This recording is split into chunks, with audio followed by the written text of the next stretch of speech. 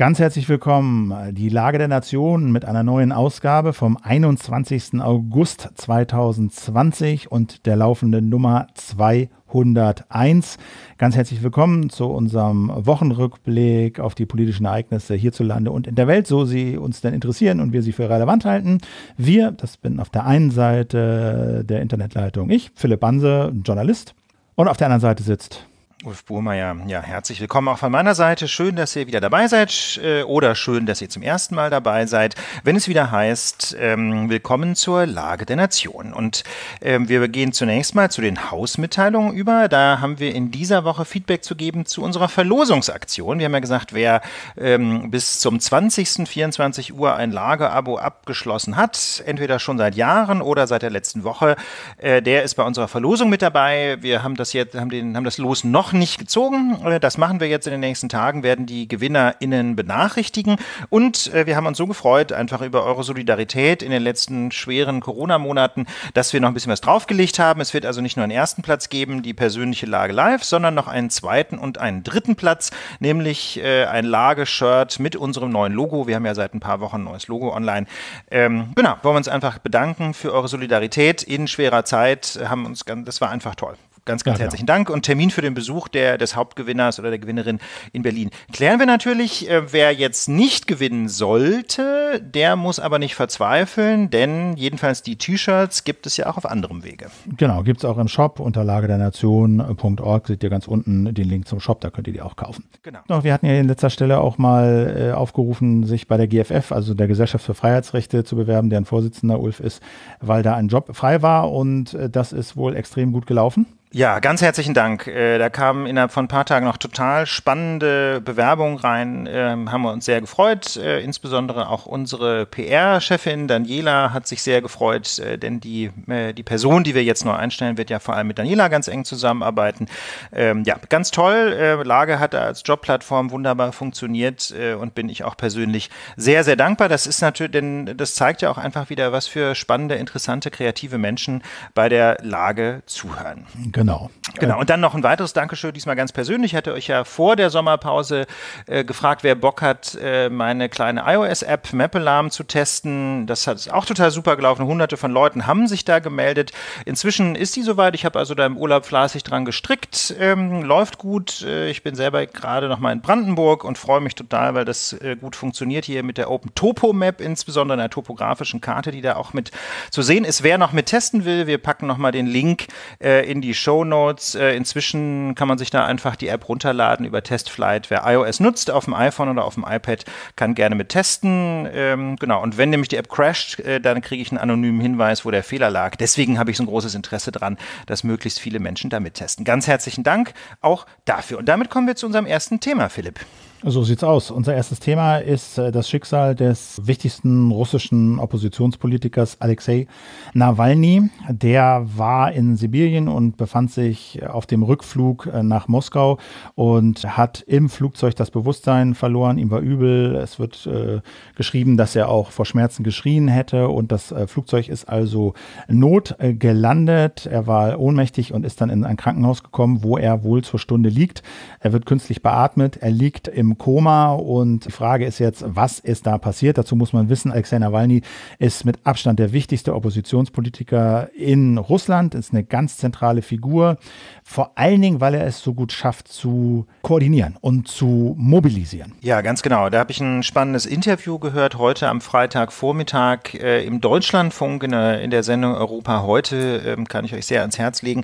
Da wurde der Chefredakteur der Zeitschrift Osteuropa interviewt und der hat, finde ich, ein sehr schönes schönes Porträt gezeichnet von Alexei Nawalny. Beispielsweise hat er darauf hingewiesen, ähm, dass er so ein begnadeter Video, äh, wie soll ich sagen, Videokünstler kann man nicht sagen, aber quasi Videojournalist ist, ist oder, oder, oder Videopolitiker. Das ist genau, das ist sein Medium. Genau, Philipp, du bringst auf den Punkt. Ne? Er, ist, er kann einfach mit Video umgehen äh, und einige seiner Videos haben 35 Millionen Menschen angeschaut. Das muss man sich mal überlegen. Ich glaube, Resource Video hat irgendwie in Deutschland so 8 oder 10 Millionen Klicks. 35 Millionen äh, haben sich diese Videos von Alexei Nawalny äh, in der Spitze angeschaut und da sieht man einfach, der Mann erreicht die Massen in Russland. Und das, Philipp, muss man sagen, hat ihn, weil er eben ein Kreml-Kritiker ist, für ähm, Wladimir Putin zu einem gefährlichen Gegner gemacht. Absolut. Also der wollte auch 2018 für die Präsidentschaftswahl antreten. Das wurde ihm nicht erlaubt aus ein bisschen fadenscheinigen Gründen.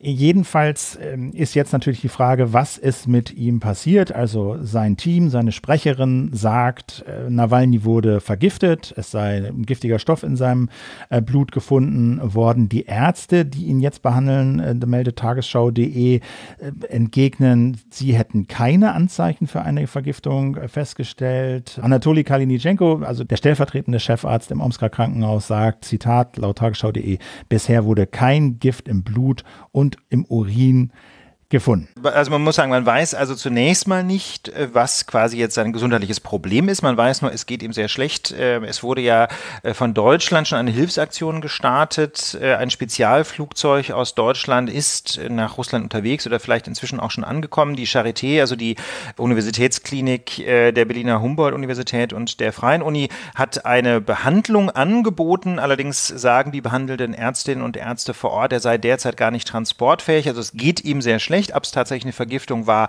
weiß man nicht. Es, sagen wir mal so, es spricht einiges dafür, aber wie gesagt, es fehlt die sogenannte Smoking Gun, ja, die qualmende Knarre, der unmittelbare Beweis. Aber das ist nicht die einzige Unsicherheit. Die zweite große Unsicherheit ist natürlich selbst für den Fall, dass er vergiftet worden äh, wäre, wer steckt tatsächlich dahinter. Ähm, das ist natürlich extrem schwer, ähm, sowas herauszufinden, wenn tatsächlich ihm zum Beispiel am, Flughaf äh, am Flughafen ähm, Gift zum Beispiel in ein Getränk gekippt worden wäre, das wäre durchaus denkbar, er hat ne? Tee genau. getrunken, ne? dann muss man sagen, da werden äh, äh, dunkle Erinnerungen wach äh, an die Journalistin Anna Politkovskaya, die 2004 ebenfalls mit einem vergifteten Tee versucht wurde, umzubringen. Zwei Jahre später ist sie dann ähm, äh, in Moskau erschossen worden. Aber das heißt also, die grundsätzlich diese, diese Gift ins Getränk Aktion ist äh, in Russland nichts völlig Neues. Nein, also das ist halt auch der Punkt, der natürlich jetzt als erstes einem einfällt, ist, dass äh, offensichtlich viele Gegner von Wladimir Putin in den letzten Jahren eines nicht natürlichen Todes sterben. Das ist Anna Politkovskaya, eine oppositionelle Journalistin, hast du erwähnt. 2004 war das, 2006 war es Alexander Litvinenko, ehemaliger KGB-Agent, dem sie Polonium in Tee gekippt haben, der ist tot. Dann war es Wladimir Karamosa, auch so ein Oppositioneller, der 2017 äh, zur Behandlung ins Ausland geflogen wurde. Boris Nemtsov äh, war auch ein oppositioneller Politiker, ist ermordet worden in Moskau. Dann natürlich Sergei Skripal und seine Tochter, die mit Novichok, dem Nervengift, vergiftet wurden und getötet wurden.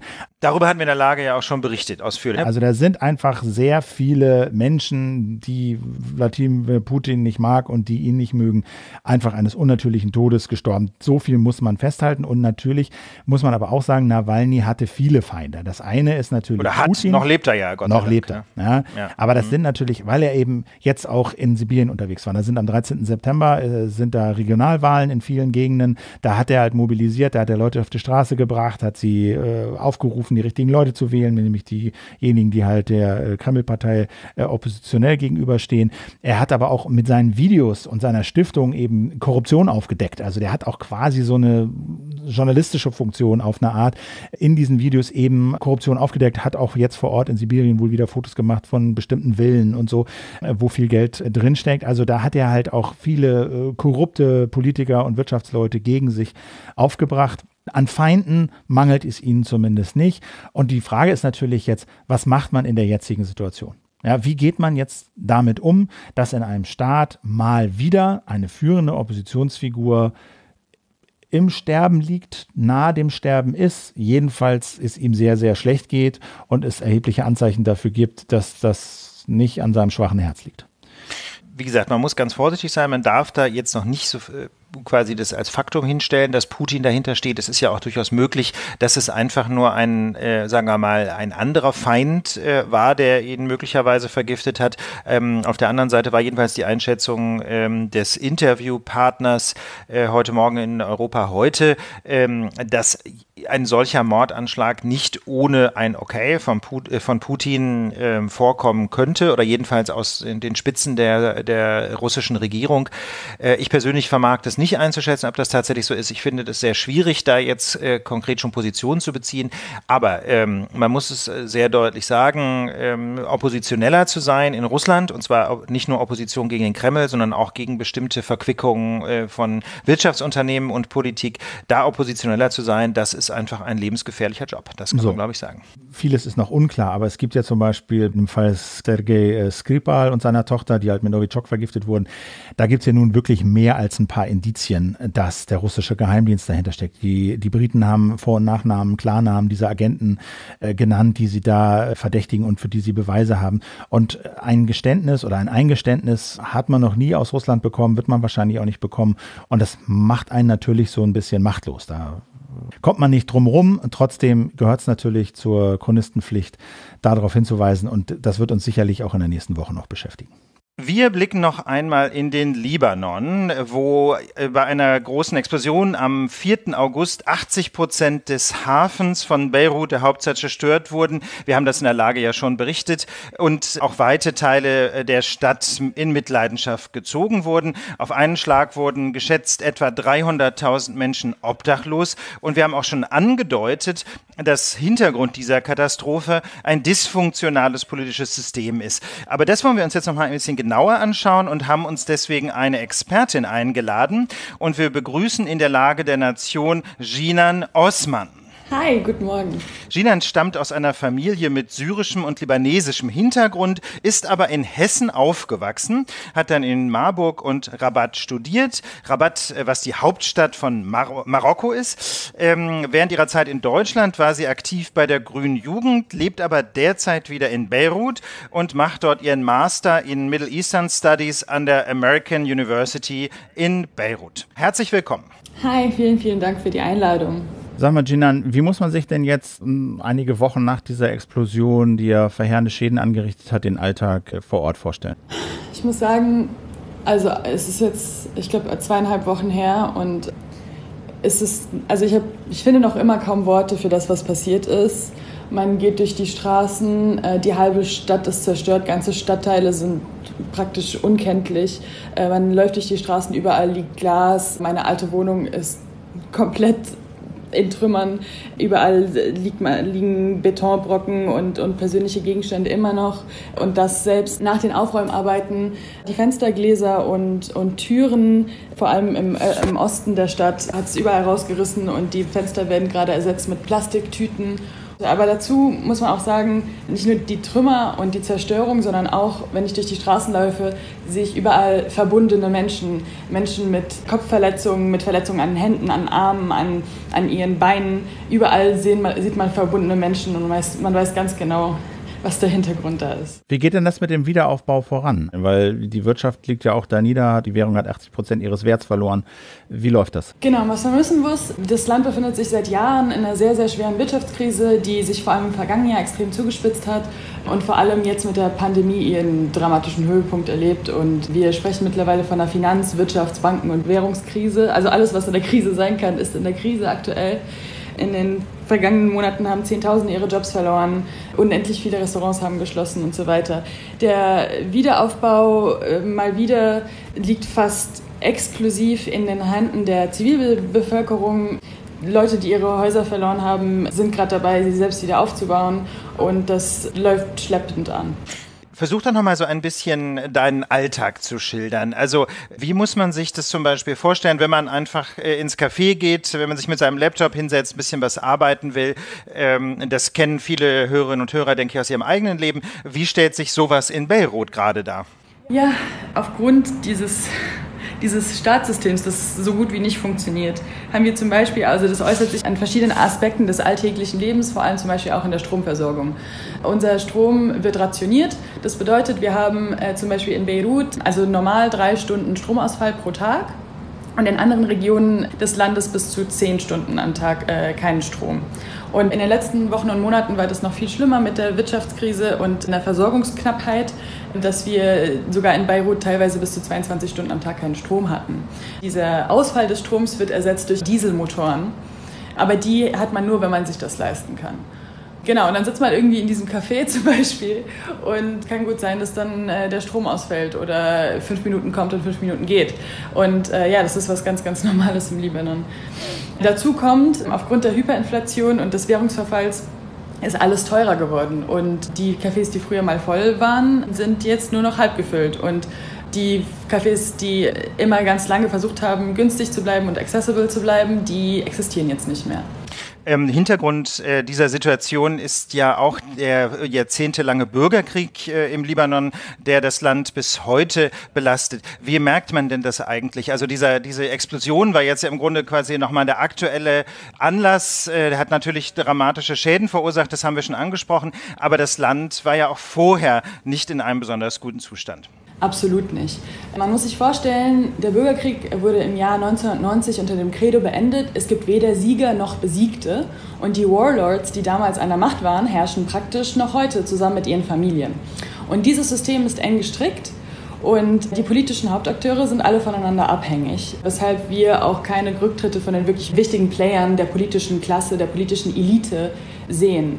Und diese Player der politischen Elite Wen meine ich damit?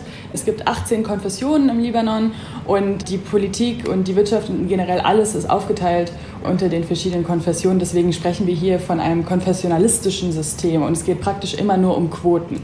Kannst du noch ein bisschen näher erläutern, wer denn eigentlich diese Religionsgemeinschaften sind? Das sind äh, Christen, Muslime und Drusen vor allem.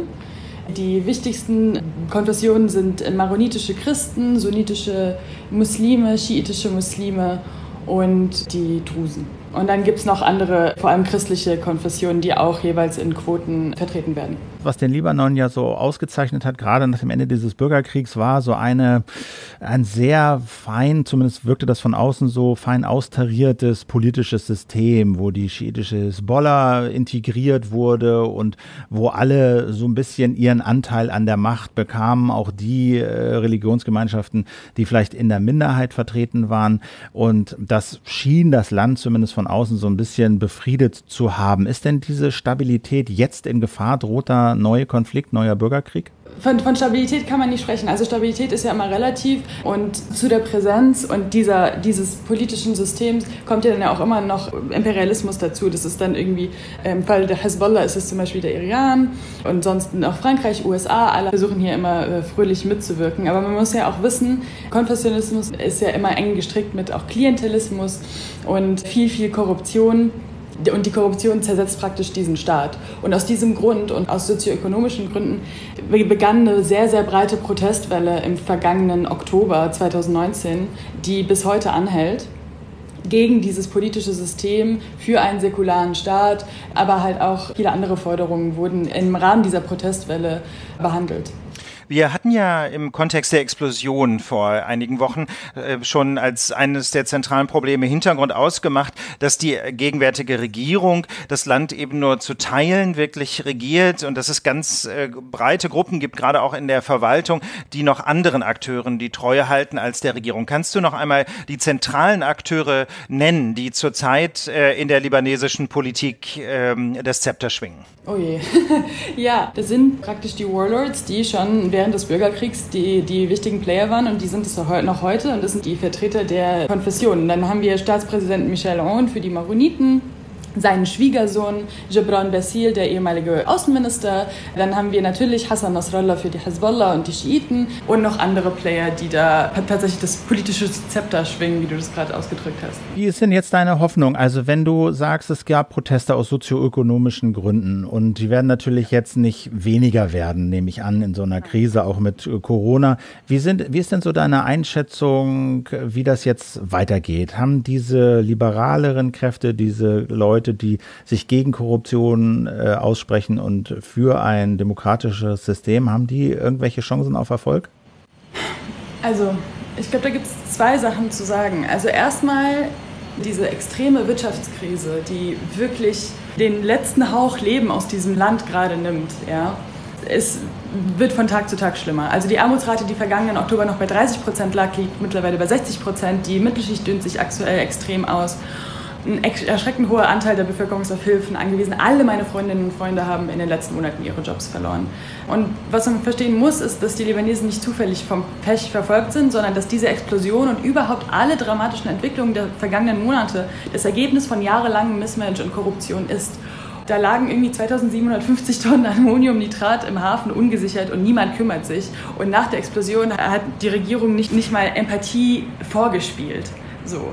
Das Einzige, was mir Hoffnung bringt und, und äh, oder, oder, oder hoff, naja, naja, die, die Hoffnung nicht komplett sterben lässt, sind wirklich die, die Leute, die seit Oktober, aber auch schon vorher, und man muss sich vorstellen, es gibt eine extrem blühende Zivilgesellschaft im Libanon, äh, auf der Straße waren und gekämpft haben für ihre Rechte, für Freiheit und äh, natürlich auch viele Vordenker, äh, politische Vordenker, die, die auch wirklich gute äh, ähm, Pläne vor, vorgelegt haben für Alternativen. Also die allermeisten meiner Professoren waren auf der Straße. Die besten Leute im Libanon sind nie in die Politik gegangen, weil die Politik korrupt ist. Und die Leute, die zum Beispiel bei uns in Deutschland normalerweise in die Politik gehen würden oder, oder in den Journalismus, äh, gehen halt im Libanon klassischerweise irgendwie in die Forschung. Und, und diese Leute haben sich aber alle, sind da und, und stellen sich auch zur Verfügung für eine mögliche Alternative. Und ja, das ist das Einzige, was so ein bisschen meine Hoffnung nicht sterben lässt. Ja, ganz herzlichen Dank. Das war im Gespräch mit der Lage Nation Jinan Osman, die zwar in Deutschland aufgewachsen ist zurzeit, aber wieder in Beirut lebt und dort Middle Eastern Studies studiert. Ganz herzlichen Dank, Jinan Osman. Vielen, vielen, vielen Dank für die Einladung. Wir haben uns so ein bisschen überlegt, wie wir mit diesem Corona-Thema umgehen. Die Lage ist etwas unübersichtlich. Die einen äh, sind völlig beängstigt, weil die Zahlen ja in den letzten Wochen gestiegen sind. Jetzt sind wir bei 1500 registrierten Neuinfektionen, von denen wir wissen, täglich. Also die Zahl geht eindeutig nach oben. Trotzdem sind wir natürlich noch nicht bei diesen 5.000, 6.000 pro Tag, wie was im, im März der Fall war. Was wir aber sehen, ist, dass das Durchschnittsalter derjenigen, äh, deren Infektion jetzt äh, registriert wird, deutlich sinkt. Da sind wir jetzt bei irgendwie gut 30 Jahren oder so. Das war vor, vor einigen Monaten auch um einige Jahre noch höher. Und das bestätigt so, sich so ein bisschen der Trend, dass wir diesen Virus jetzt mehr oder weniger in allen Bevölkerungsgruppen haben. Die Frage ist, woher kommt's? Sicher Reiserückkehrer etc. pp. Wir haben uns dafür entschieden, das jetzt in dieser Woche jetzt nicht nochmal extrem auszurollen und die Lage zu beobachten, weil das natürlich auch schon hier sehr viel Raum eingenommen hat und demnächst auch sicherlich sehr viel Raum einnehmen wird. Deswegen der Hinweis auf ein Interview, was ich gemacht habe für meinen anderen Podcast, nämlich das Interview mit Philipp Banse. Da habe ich gesprochen mit Kai Kupferschmidt. Der ist einer der angesehensten deutschen äh, Wissenschaftsjournalisten. Er arbeitet vor allen Dingen für Science, also dieses US-amerikanische Wissenschaftsmagazin berichtet da vor allen Dingen auch über äh, Corona und einige Aspekte von Corona. Und ich habe ihn halt mal gefragt, wie er denn jetzt die Lage einschätzt. Wie unterscheidet sich die Phase jetzt von der Phase von vor drei Monaten? Es ist natürlich schon gefährlich jetzt die 1500 jetzt mit den, mit den 6000 oder so vergleichen. Also da, da gibt es immer so viele Kaviats auch wieder. Wir machen natürlich sehr viel mehr Tests, das ist das eine. Das andere ist, wir haben natürlich Reiserückkehrer. Das heißt, äh, jetzt, jetzt ganz banal gesagt, wenn ich in einer Woche 1000 Neuinfektionen habe und in der nächsten Woche 2000, dann kann ich sagen, okay, RS2, jeder hat zwei infiziert.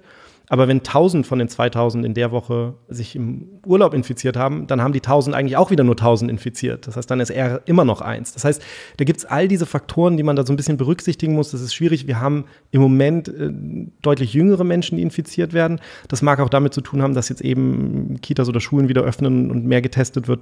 Man kann jetzt ja sagen, okay, junge Menschen sind weniger gefährdet, ist gut, aber das wird sich natürlich, das haben wir in Arizona gesehen, in Florida, in Texas, das verschiebt sich dann natürlich mit der Zeit. Das bleibt natürlich nicht bei den jungen Menschen, sondern die, die, diese Welten sind ja nicht getrennt, sondern es kommt dann irgendwann zu den Menschen, bei denen es wirklich eine, eine hohe lebensbedrohliche Gefahr gibt. Und dann sehen wir auch wieder einen Anstieg in den Hospitalisierungen. Das komplette Interview mit Kai Kupferschmidt, das könnt ihr euch, wie gesagt, anhören unter dasinterview.org. Könnt ihr auch abonnieren, wenn ihr in euren Podcast-Apps Spotify, wo immer das Interview eingebt mit Philipp Banse, dann fällt das da demnächst raus. Vielen Dank für das Interesse schon mal hier. Wir hatten ja auch vor einiger Zeit gefragt nach diesem Bankenproblem, Ulf. Ne? Was ist dabei rumgekommen?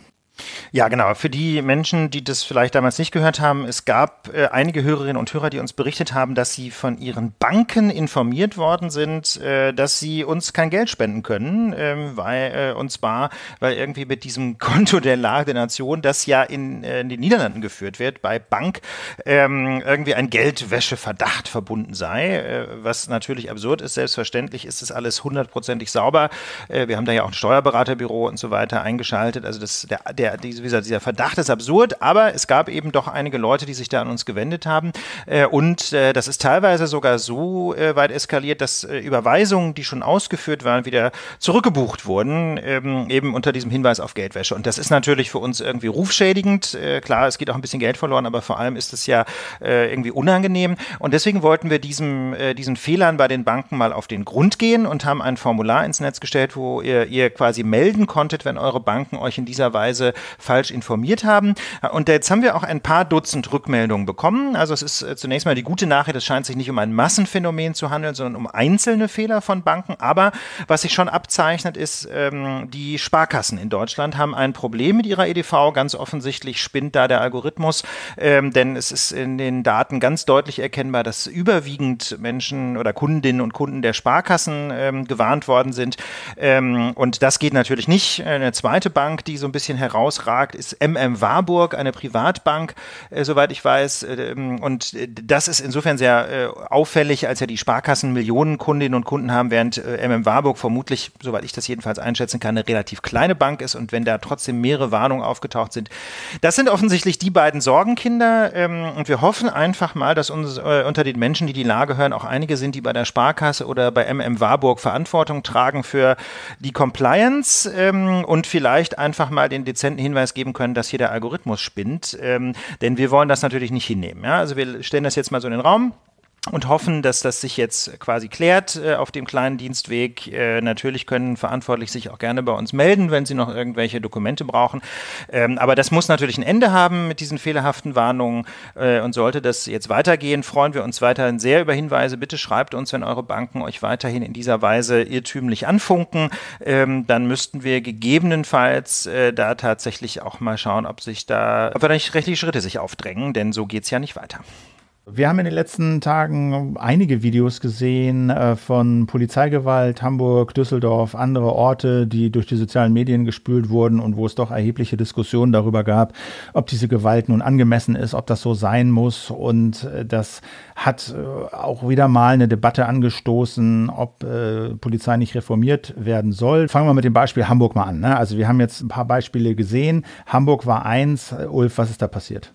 Ja, also natürlich äh, kann ich das nicht mit Sicherheit sagen, weil ich nicht dabei war. Aber wenn man mal zusammennimmt, was man zum einen in den Videos sieht, die so auf sozialen Medien kursieren und dann auf der anderen Seite die Pressemitteilung der Polizei Hamburg sich anschaut, dann ist es wohl so gewesen, dass ein 15-Jähriger mit so einem Roller, äh, mit so einem E-Roller auf dem Bürgersteig gefahren ist. Das darf man natürlich nicht. Das ist also eine Ordnungswidrigkeit.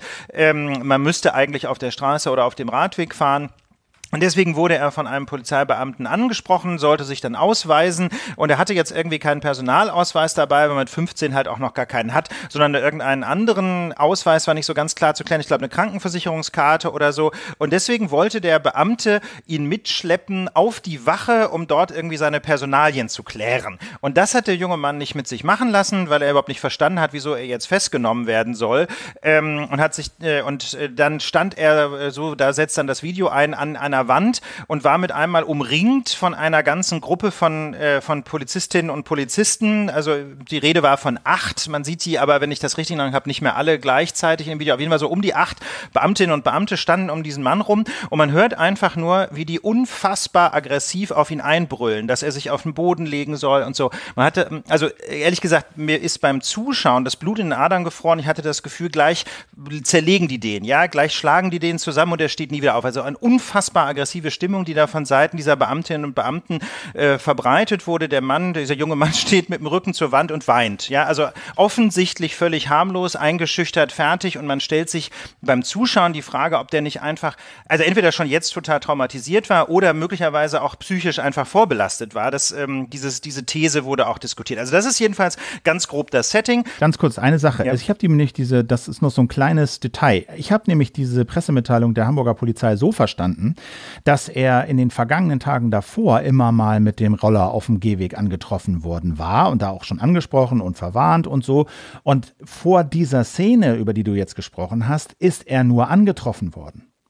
Denn den Eindruck, den diese Pressemitteilung erweckt, ist, der ist nicht mit dem Roller wieder auf den Gehweg gefahren. Also das, das habe ich anders verstanden, sagen wir mal so. Aber das, du, du, wie gesagt, Philipp, das werden wir heute nicht klären können. Auf jeden Fall äh, in, in dieser Situation ging es darum, dass die Beamtinnen und Beamten der Meinung waren, jetzt diesen Menschen auf einen Abschnitt, auf eine Wache verfrachten zu müssen, um seine Personalien feststellen zu müssen.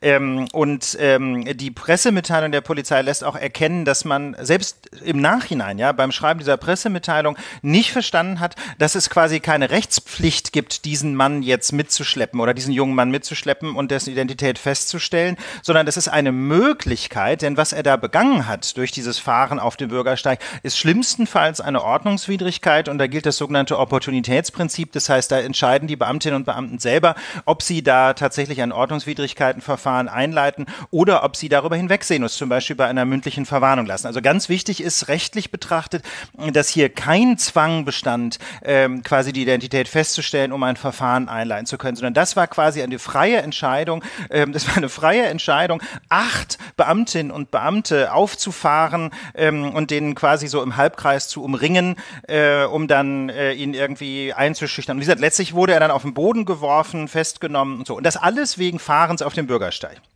Also, dieses Video ist furchtbar. Äh, man muss immer dazu sagen, bei diesen Videodokumentationen, die dann in äh, sozialen Medien auftauchen, man weiß es nicht, wie das Video zustande kommt. Das kann geschnitten worden sein und so. Also, das muss man sich immer klar machen. Der Videobeweis ist kein Augenzeuge. Ne? Der Videobeweis ist immer nur ein Teil einer Situation. Das sagt jetzt natürlich auch die Polizei. Ähm, auf der anderen Seite, aber das, was man sieht, äh, ist ist sehr, sicherlich sehr unschön. So, so, will ich es mal ja. ganz vorsichtig in den Raum stellen. Und, ähm, und die Polizei hat da ähm, Möglichkeiten genutzt, ja, rechtliche Möglichkeiten genutzt, aber andere Möglichkeiten nicht genutzt. So kann man es, glaube ich, in den Raum stellen. Es gab da durchaus keinen Zwang. Ähm, Im Kontext dieser, dieser, dieses Videobeweises oder dieser Videodokumentation hat uns jetzt eine Frage erreicht. Genau, und zwar äh, war auch die Frage von, von, von einer Hörerin, äh, ob wir das mal juristisch einordnen können. Das haben wir gemacht, aber vor allen Dingen, und das ist ja auch eine wichtige Frage, wie steht es denn eigentlich mit der Frage, darf man Polizisten und Polizistinnen bei solchen Einsätzen filmen? Diese Frage kann man sehr eindeutig mit Ja beantworten. Also grundsätzlich eine Videodokumentation anzufertigen von hoheitlichem Verhalten in der Öffentlichkeit ist völlig legal. Da gibt es keinen Grund, das nicht zu tun. Eine andere Frage ist dann, ob man tatsächlich diese Videos hinterher veröffentlichen kann. Denn natürlich ist es auch ein Eingriff in die informationelle Selbstbestimmung, wenn man ein solches Video anfertigt. Na, auch die Beamtinnen und Beamten haben natürlich, ähm, äh, haben natürlich quasi Datenschutzrechte. Ähm, das heißt also im Nachhinein ist dann eine andere Frage, was mit diesem Video äh, tatsächlich passieren darf. Aber zunächst mal filmen darf man auf jeden Fall. Und äh, es ist auch ganz wichtig, dass man sich davon nicht abhalten lässt. Also das ist ein weiterer Nebenaspekt dieses Hamburger Videos, dass da eine Frauenstimme, ja, also mutmaßlich eine Beamtin, wenn man sich mal die Wortwahl anguckt, versucht die filmende Person davon abzuhalten, dieses Video anzufertigen. Ne? Das heißt also, acht Beamtinnen und Beamte umringen einen 15-Jährigen. Offensichtlich äh, wollen Passanten oder Passantinnen das dokumentieren und die Polizei versucht es zu verhindern. Wie gesagt, mutmaßlich. Man sieht die, die Polizei, die, die Person, die verhindert, dass, dass das Video, die versucht zu verhindern, dass das Video aufgenommen wird, sieht man nicht in dem Video. Das heißt, ich kann das nicht mit Sicherheit sagen, aber von der Wortwahl her klingt es mir so, als wenn das auch eine Beamtin war, die versucht hat, äh, diese Dokumentation zu verhindern. Da kann man wirklich nur ganz deutlich sagen, lasst euch das nicht verbieten. Ähm, das ist aus meiner Sicht ein ganz zentrales demokratisches Recht, ähm, stets und ständig zu fragen, ob die Polizei tatsächlich rechtmäßig handelt. Und ähm, da sind natürlich Videoaufnahmen ein Schlüssel. Ja, denn ähm, die Beweislage vor Gericht ist sonst extrem schlecht häufig, weil, ähm, keine Ahnung, sieben oder acht Beamtinnen und Beamte sagen, nö, nö, da gab es kein Problem. Und wenn man dann ein Video hat, ähm, dann lässt sich die Situation möglicherweise ganz anders aufklären. Was sind denn Kriterien, äh, die man abfragen muss, wenn man überlegt, das zu veröffentlichen? Also insbesondere stellt sich die Frage, ob, das, äh, ob es einen berechtigten Anlass gibt äh, für diese Veröffentlichung. Und ein berechtigter Anlass wäre insbesondere der Verdacht rechtswidrigen Handelns. Ne, denn natürlich muss in der Öffentlichkeit diskutiert werden, ob sich die Polizei rechtmäßig verhält. Ähm, eine öffentliche Diskussion ist auch geeignet, das sieht man ja sehr schön an diesem Fall, tatsächlich den nötigen Druck aufzubauen auf die Polizei, äh, sich in kritischen Situationen stets und ständig zu fragen, dürfen wir das tun, was wir hier tun? Ist das berechtigt? Ähm, und, äh, oder sollten wir nicht möglicherweise die Situation eher deeskalieren? Also mal ganz ehrlich, diese Hamburger Situation macht, ähm, macht oder wirft jedenfalls die Frage auf, ob man nicht äh, diesen jungen Mann vielleicht einfach hätte auch laufen lassen können. Ja, also warum eigentlich muss ein solches Drohpotenzial aufgefahren werden, ähm, um nur um zu klären, um wen es sich handelt, um eine Ordnungswidrigkeit äh, anzeigen zu können? Das sagen wir so, ist jetzt jedenfalls nicht zwingend. Oder man hätte sich ja auch überlegen können, ob man nicht angesichts dieser psychologischen äh, Extremsituation einfach versucht, die Situation zu deeskalieren, indem man zum Beispiel sagt, wir rufen jetzt mal einen Sozialarbeiter. Ich kenne jetzt die äh, Behördenstruktur oder in Hamburg Eltern nicht. oder irgendwie sowas. Wen auch immer, ja. Also ich meine, es wird ja in Hamburg auch sowas wie einen, ähm, einen sozialen Krisendienst geben, ja. Also so eine psychosoziale Betreuung, dass man jemanden rufen kann, der dann eben äh, eben nicht Uniform trägt und äh, und ähm, Pfefferspray und Pistole Pistole am Gürtel, sondern der äh, möglicherweise in der Lage ist, die Situation zu deeskalieren. Also solche Bilder wie diese gab es in den letzten Tagen und Wochen ja sehr viele. Dazu halt die Erkenntnisse, dass aus Frankfurter Polizeicomputern Daten von Menschen rausgefischt wurden, die dann Briefe und E-Mails bekommen haben, die unterschrieben waren, Drohbriefe, Morddrohungen, die unterschrieben waren mit NSU 2.0. Dazu die Erkenntnisse, dass zahlreiche Polizisten und Polizistinnen in rechtsradikalen, demokratiefeindlichen Netzwerken unterwegs sind. Und so ist also die äh, Diskussion im Gange, wie man die Polizei reformieren kann. Und dazu hat die Grüne Jugend, also die Jugendorganisation von Bündnis 90 Die Grünen äh, ein paar Thesen vorgestellt, die auch von Fachleuten durchaus interessiert und äh, begrüßend aufgenommen wurden. Unter ihnen Thomas Feltes zum Beispiel, der schreibt auf Twitter, der ist übrigens einer der führenden Kriminologen in Deutschland, war von 92 bis 2002, äh, also zehn Jahre Rektor der Polizeifachhochschule in Baden-Württemberg, ist also durchaus mit der Praxis der Polizei intim vertraut und wurde auch von der CDU ins Amt geholt. Und der schreibt auf Twitter äh, als Kommentar zu diesen Thesen der Grünen Jugend, Zitat, ich sehe hier keine einzige Forderung der Grünen Jugend, die ich nicht 100, zu 100 Prozent unterstützen würde. Die haben alle Probleme in und mit der Polizei sauber aufgearbeitet und daraus Konsequenzen gezogen. Glückwunsch, Zitat Ende. Und da ja nun die Grüne Jugend eine Organisation ist, die zwar ihre Arbeit macht, aber jetzt, ähm, sagen wir mal, von ihrer Reichweite und auch politischen Schlagkraft doch begrenzt ist, dachten wir, äh, das ist doch hier mal eine gute Gelegenheit, um ein paar gute Ideen einer breiteren Öffentlichkeit vorzustellen und haben uns deshalb Georg Kurz eingeladen, der ist Bundessprecher der Grünen Jugend, äh, hat Chemie studiert, äh, abgeschlossen, aber ist eben jetzt in die Politik gegangen und Sprecher eben der Grünen Jugend. Ganz herzlich willkommen, Georg. Ja, hi. Hat denn die grüne Jugend ein Problem mit der Polizei? ich glaube, die grüne Jugend hat ein Problem damit, wenn die Prinzipien von Rechtsstaatlichkeit, die, die Vorstellungen davon, wie Polizeiarbeit funktionieren sollte, ja, mit der Realität nicht zusammengeht und zum Beispiel einerseits zum Beispiel Fehlverhalten von PolizistInnen nicht aufgearbeitet, nicht verfolgt wird und andererseits zum Beispiel das, was gar nicht als Fehlverhalten eingestuft wird, ähm, sondern wie eben in Hamburg zum Beispiel sozusagen normales Vorgehen ist, auch anders lösbar wäre. Ähm, nun ist es ja so, dass die Polizei ähm, in ihrem, bei ihren Einsätzen mitunter auch Gewalt ausüben muss. Äh, nicht alle Menschen, mit denen die Polizei ähm, zu tun hat, sind friedlich. Das muss man natürlich schon festhalten. Ja, wenn man, keine Ahnung, einen Bankräuber auf frischer Tat ertappt, dann kann man nicht davon ausgehen, äh, dass, der, ähm, dass der freundlich einfach nur die Hände hochnimmt. Ähm, was ist denn jetzt das Problem mit Gewaltanwendung durch die Polizei? Also genau vollkommene Zustimmung, so wie das System funktioniert und so wie die Gesetze sind, muss es natürlich auch Leute geben, die die durchsetzen und im Zweifel den Bankräuber aufhalten oder die Nazi-Demo auflösen. Tatsache ist aber ja, dass ganz oft Polizeigewalt angewendet wird, staatliche Gewalt angewendet wird, wo es vermeidbar wäre und da, wo sie angewendet sozusagen werden muss, anders hätte angewendet werden können. Und da würde ich sagen, ist zum Beispiel das Beispiel in Hamburg ja ein super Paradebeispiel.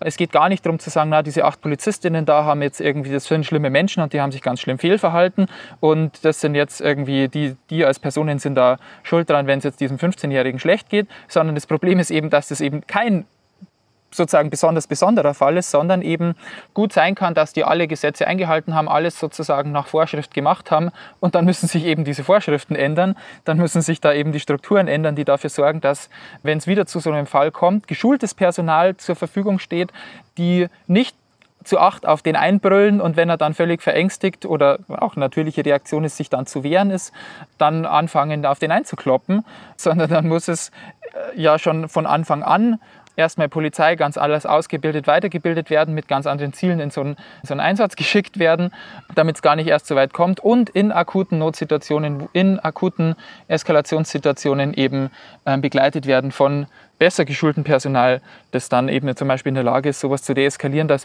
also na, diese Situation in Hamburg, ein 15-Jähriger cruist irgendwo über den Bürgersteig, da muss man ja eigentlich nicht nur drüber reden, ist es jetzt okay, da Pfefferspray zu verwenden oder hätte es vielleicht auch irgendeinen Schmerzgriff getan, hätte man nicht auch einen Klagstock, keine Ahnung, sondern eigentlich ist es eine Situation, die muss doch vernünftigerweise zu lösen sein, ohne dass es überhaupt nur zu irgendeiner Form von Gewaltanwendung kommt. Ihr schreibt ja Zivilträger ausbauen, Polizei entlasten. Also wie soll das konkret passieren, dass die Polizei entlastet wird? Na, es ist so, dass de facto die Polizei zu ganz vielen Einsätzen gerufen wird, für die sie eigentlich nicht die richtige Antwort ist, nicht die richtige Antwort sein kann. Das ist gar nicht die Schuld von den Polizistinnen, die dann dahin kommen, sondern es ist ja, gibt ja einen Grund, warum es SozialarbeiterInnen gibt, warum es in psychischen Ausnahmesituationen eben Krisenteams gibt, die sich genau darauf fokussiert haben, warum es SanitäterInnen gibt, die jeweils in ihren Fachgebieten eben besonders gut darin sind, mit Krisensituationen so umzugehen, dass nicht am Ende davon jemand tot ist, wie das in den letzten Wochen häufiger passiert ist, ähm, dass die Polizei Menschen in psychischen Ausnahmesituationen einfach erschossen hat.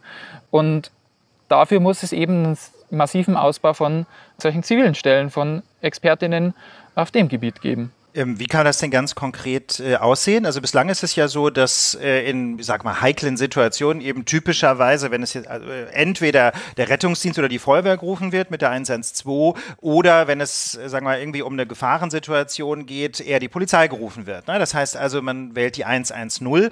Ähm, das heißt also, in einer psychosozialen Ausnahmesituation gibt es diese schnelle Notrufnummer nicht. Wie stellt sich die grüne Jugend das denn ganz konkret vor? Ähm, wie könnte die Polizei entlastet werden? Ja, darüber ist die Debatte ehrlich gesagt in Deutschland leider noch ganz am Anfang. Es war schon ein Riesenaufschrei, dass wir überhaupt angemerkt haben, ähm, dass vielleicht solche Situationen auch anders lösbar sind. Wie sich das dann konkret ausgeschaltet, da gibt es verschiedene Modelle und verschiedene Möglichkeiten. Ich glaube, es wäre sinnvoll, wenn es auch einfach dafür Nummern gibt, die rund um die Uhr nicht nur erreichbar sind. Ich meine, die Telefonseelsorge kann ich auch rund um die Uhr anrufen, aber wenn halt jemand konkret vor Ort Hilfe braucht oder andere Hilfe brauchen, um geschützt zu werden, dann kommt im Zweifel ja eben doch nur die Polizei. Und da muss es eben Anlaufstellen, Nummern geben, Strukturen aufgebaut werden, wo ich weiß, da kann ich rund um die Uhr anrufen und dann kommen Menschen, die genau für solche Situationen ausgebildet sind ähm, und nicht dann einfach durch autoritäres Auftreten und Waffe zücken und rumschreien die Situation noch erst richtig gefährlich machen. Also ihr schreibt auch im, im Konzept militärische Bewaffnung, gepanzerte Fahrzeuge und noch mehr Polizeipräsenz auf den Straßen stärken weder subjektive Sicherheitsgefühle noch objektive Sicherheitslage. Soll die Polizei entwaffnet werden? Da ist einfach die Erfahrung aus den letzten Jahren, dass auf verschiedenste Bedrohungslagen oder auch nur gefühlte Bedrohungen, aber auch durch völlig un, auf völlig unbedrohliche Situationen wie äh, zivilgesellschaftlicher Protest und Demos immer stärker mit Abschreckungsszenarien reagiert wurde. Es gab massive Verschärfungen von den Polizeigesetzen in den verschiedenen Bundesländern.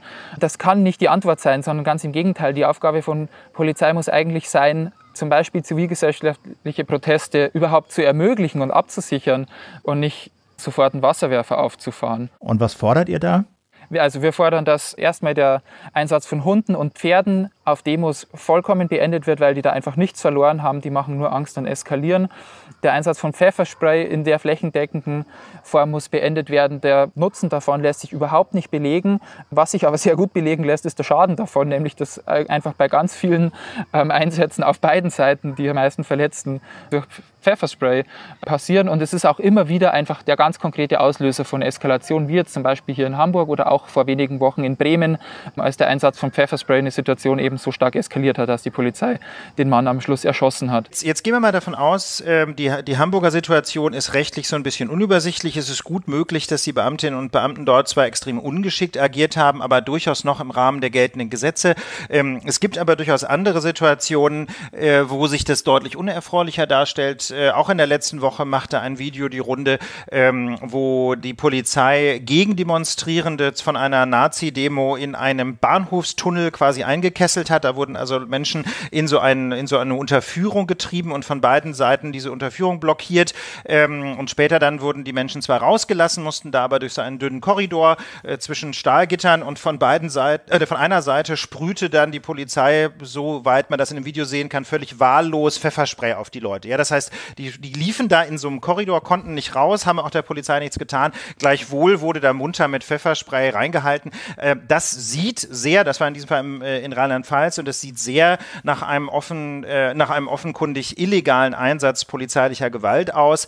Ähm, zugleich aber wird ähm, von Bürgerrechtlerinnen und Bürgerrechtlern immer wieder kritisiert, dass solche Gewaltexzesse typischerweise ohne Folgen bleiben für die Beamtinnen und Beamten. Ähm, dazu äh, würde mich interessieren, was, was stellt sich denn die grüne Jugend vor, um die Situation hier zu verbessern? Also brauchen wir da mehr Zahlen oder braucht es da direkt konkrete Reformen? Zuallererst mal brauchen wir wissenschaftliche Grundlage, um zu wissen, worüber wir überhaupt reden. Also klar, es braucht mehr Zahlen, mehr Studien und dass die systematisch von Polizeigewerkschaften und Innenministerien abgeblockt werden, zeigt ja nur, dass alle Beteiligten ganz genau wissen, dass es da ein Riesenproblem gibt. Und dann braucht es natürlich, und zwar nicht erst, wenn die Studienergebnisse da sind, die müssen dann den weiteren Prozess begleiten, sondern umgehend das, was alle wissen, was es jetzt braucht und was natürlich internationaler Standard ist, dem sich Deutschland schon lange verweigert, flächendeckend, nämlich unabhängige Beschwerde- und Ermittlungsstellen mit weitreichenden Ermittlungskompetenzen, damit Polizeigewalt endlich Folgen hat. Damit es überhaupt aufgeklärt werden kann, braucht es anonyme Kennzeichnungspflicht für alle Einheiten, damit überhaupt nachvollziehbar ist, wer im Zweifel die Straftat begangen hat. Und es ist natürlich schon jetzt so, dass wir wissen, dass wir durch eine Studie der Ruhr-Uni Bochum, aber auch einfach durch die Erfahrungen, die alle Betroffenen machen, die alle machen, die damit zu tun haben, wissen, dass es jedes Jahr tausende Fälle von Polizeigewalt gibt und die aber nur in einem ganz kleinen Bruchteil der Fälle überhaupt vor Gericht landen und noch weniger davon enden mit einer Verurteilung von PolizistInnen. Beispiel Hamburg, G20-Gipfel, wo das Internet voll ist mit Videos, wo jeder sieht, dass das, das kann keine rechtliche Grundlage haben, Leute, die am Boden liegen, gegen den Kopf zu treten und was es da alles gab. Und trotzdem gab es bis heute kein einziges Verfahren gegen beteiligte PolizistInnen. Das ist völlig offensichtlich, dass hier ein riesiger, ja, demokratischer Missstand einfach herrscht. Aber wie kann man das denn beheben? Was wäre denn eure Antwort darauf, dass so wenig äh, Polizisten, Polizistinnen bei Verstößen Sanktionen zu be befürchten haben? Na, weil sie im Moment wissen, dass wenn überhaupt die eigene Behörde der eigene Laden gegen sie ermittelt und da kommt natürlich nicht viel raus. Also wenn ich den Herrn Tönnies damit beauftrage, mal nachzugucken, dass in seinem Laden ordentliche Arbeitsbedingungen herrschen, naja, da haben wir ja auch gesehen, wozu das führt, sondern da braucht es natürlich wie in jeder anderen Branche, in jedem anderen Bereich auch externe ähm, Ermittlungen mit einer externen Behörde, die drauf guckt, was da schief läuft und was anders werden muss. Das bedeutet, diese Beschwerde- und Ermittlungsstellen müssen außerhalb der Innenministerien angesiedelt sein, gesiedelt sein, damit nicht wieder die alles unter sich also ausmachen ähm, müssen ähm, und gegen die eigenen KollegInnen ermitteln müssen, was ja für alle Beteiligten klar ist, dass es nicht funktionieren kann. Und wie gesagt, auch natürlich braucht es auch ganz viele Maßnahmen außenrum, damit es zu so einer Polizeigewalt gar nicht erst kommt. Prävention, Hilfsangebote, viel mehr Unterstützung für zivile TrägerInnen, Deeskalation, Kommunikation, die Aus- und Weiterbildung muss sich viel stärker darauf fokussieren, wie man äh, Maßnahmen konfliktarm durchführen kann und äh, Situationen deeskaliert, bevor man überhaupt den Schlagstock auspackt. Natürlich ist das schon jetzt ein Teil von der Ausbildung, aber das muss einen ganz anderen Schwerpunkt haben und auch die konkrete Einsatzstrategie. Da werden zum Teil noch mit Überzeugungen Einsätze gefahren, wo wir seit Jahrzehnten wissen, dass es so nicht funktioniert. Ähm, in jedem anderen Bereich ist es völlig selbstverständlich, dass man sich an aktuellen wissenschaftlichen Erkenntnissen und an sozusagen neuen, neuen Fortschritten orientiert und das muss auch bei der Polizei viel mehr Standard werden. Sag mal, euer Vorstoß, eure Reformanstrengungen, die stoßen ja im politischen Raum auf wenig Gegenliebe. Warum eigentlich? Ja, weil sich in Deutschland ein wirklich problematisches Klima etabliert hat.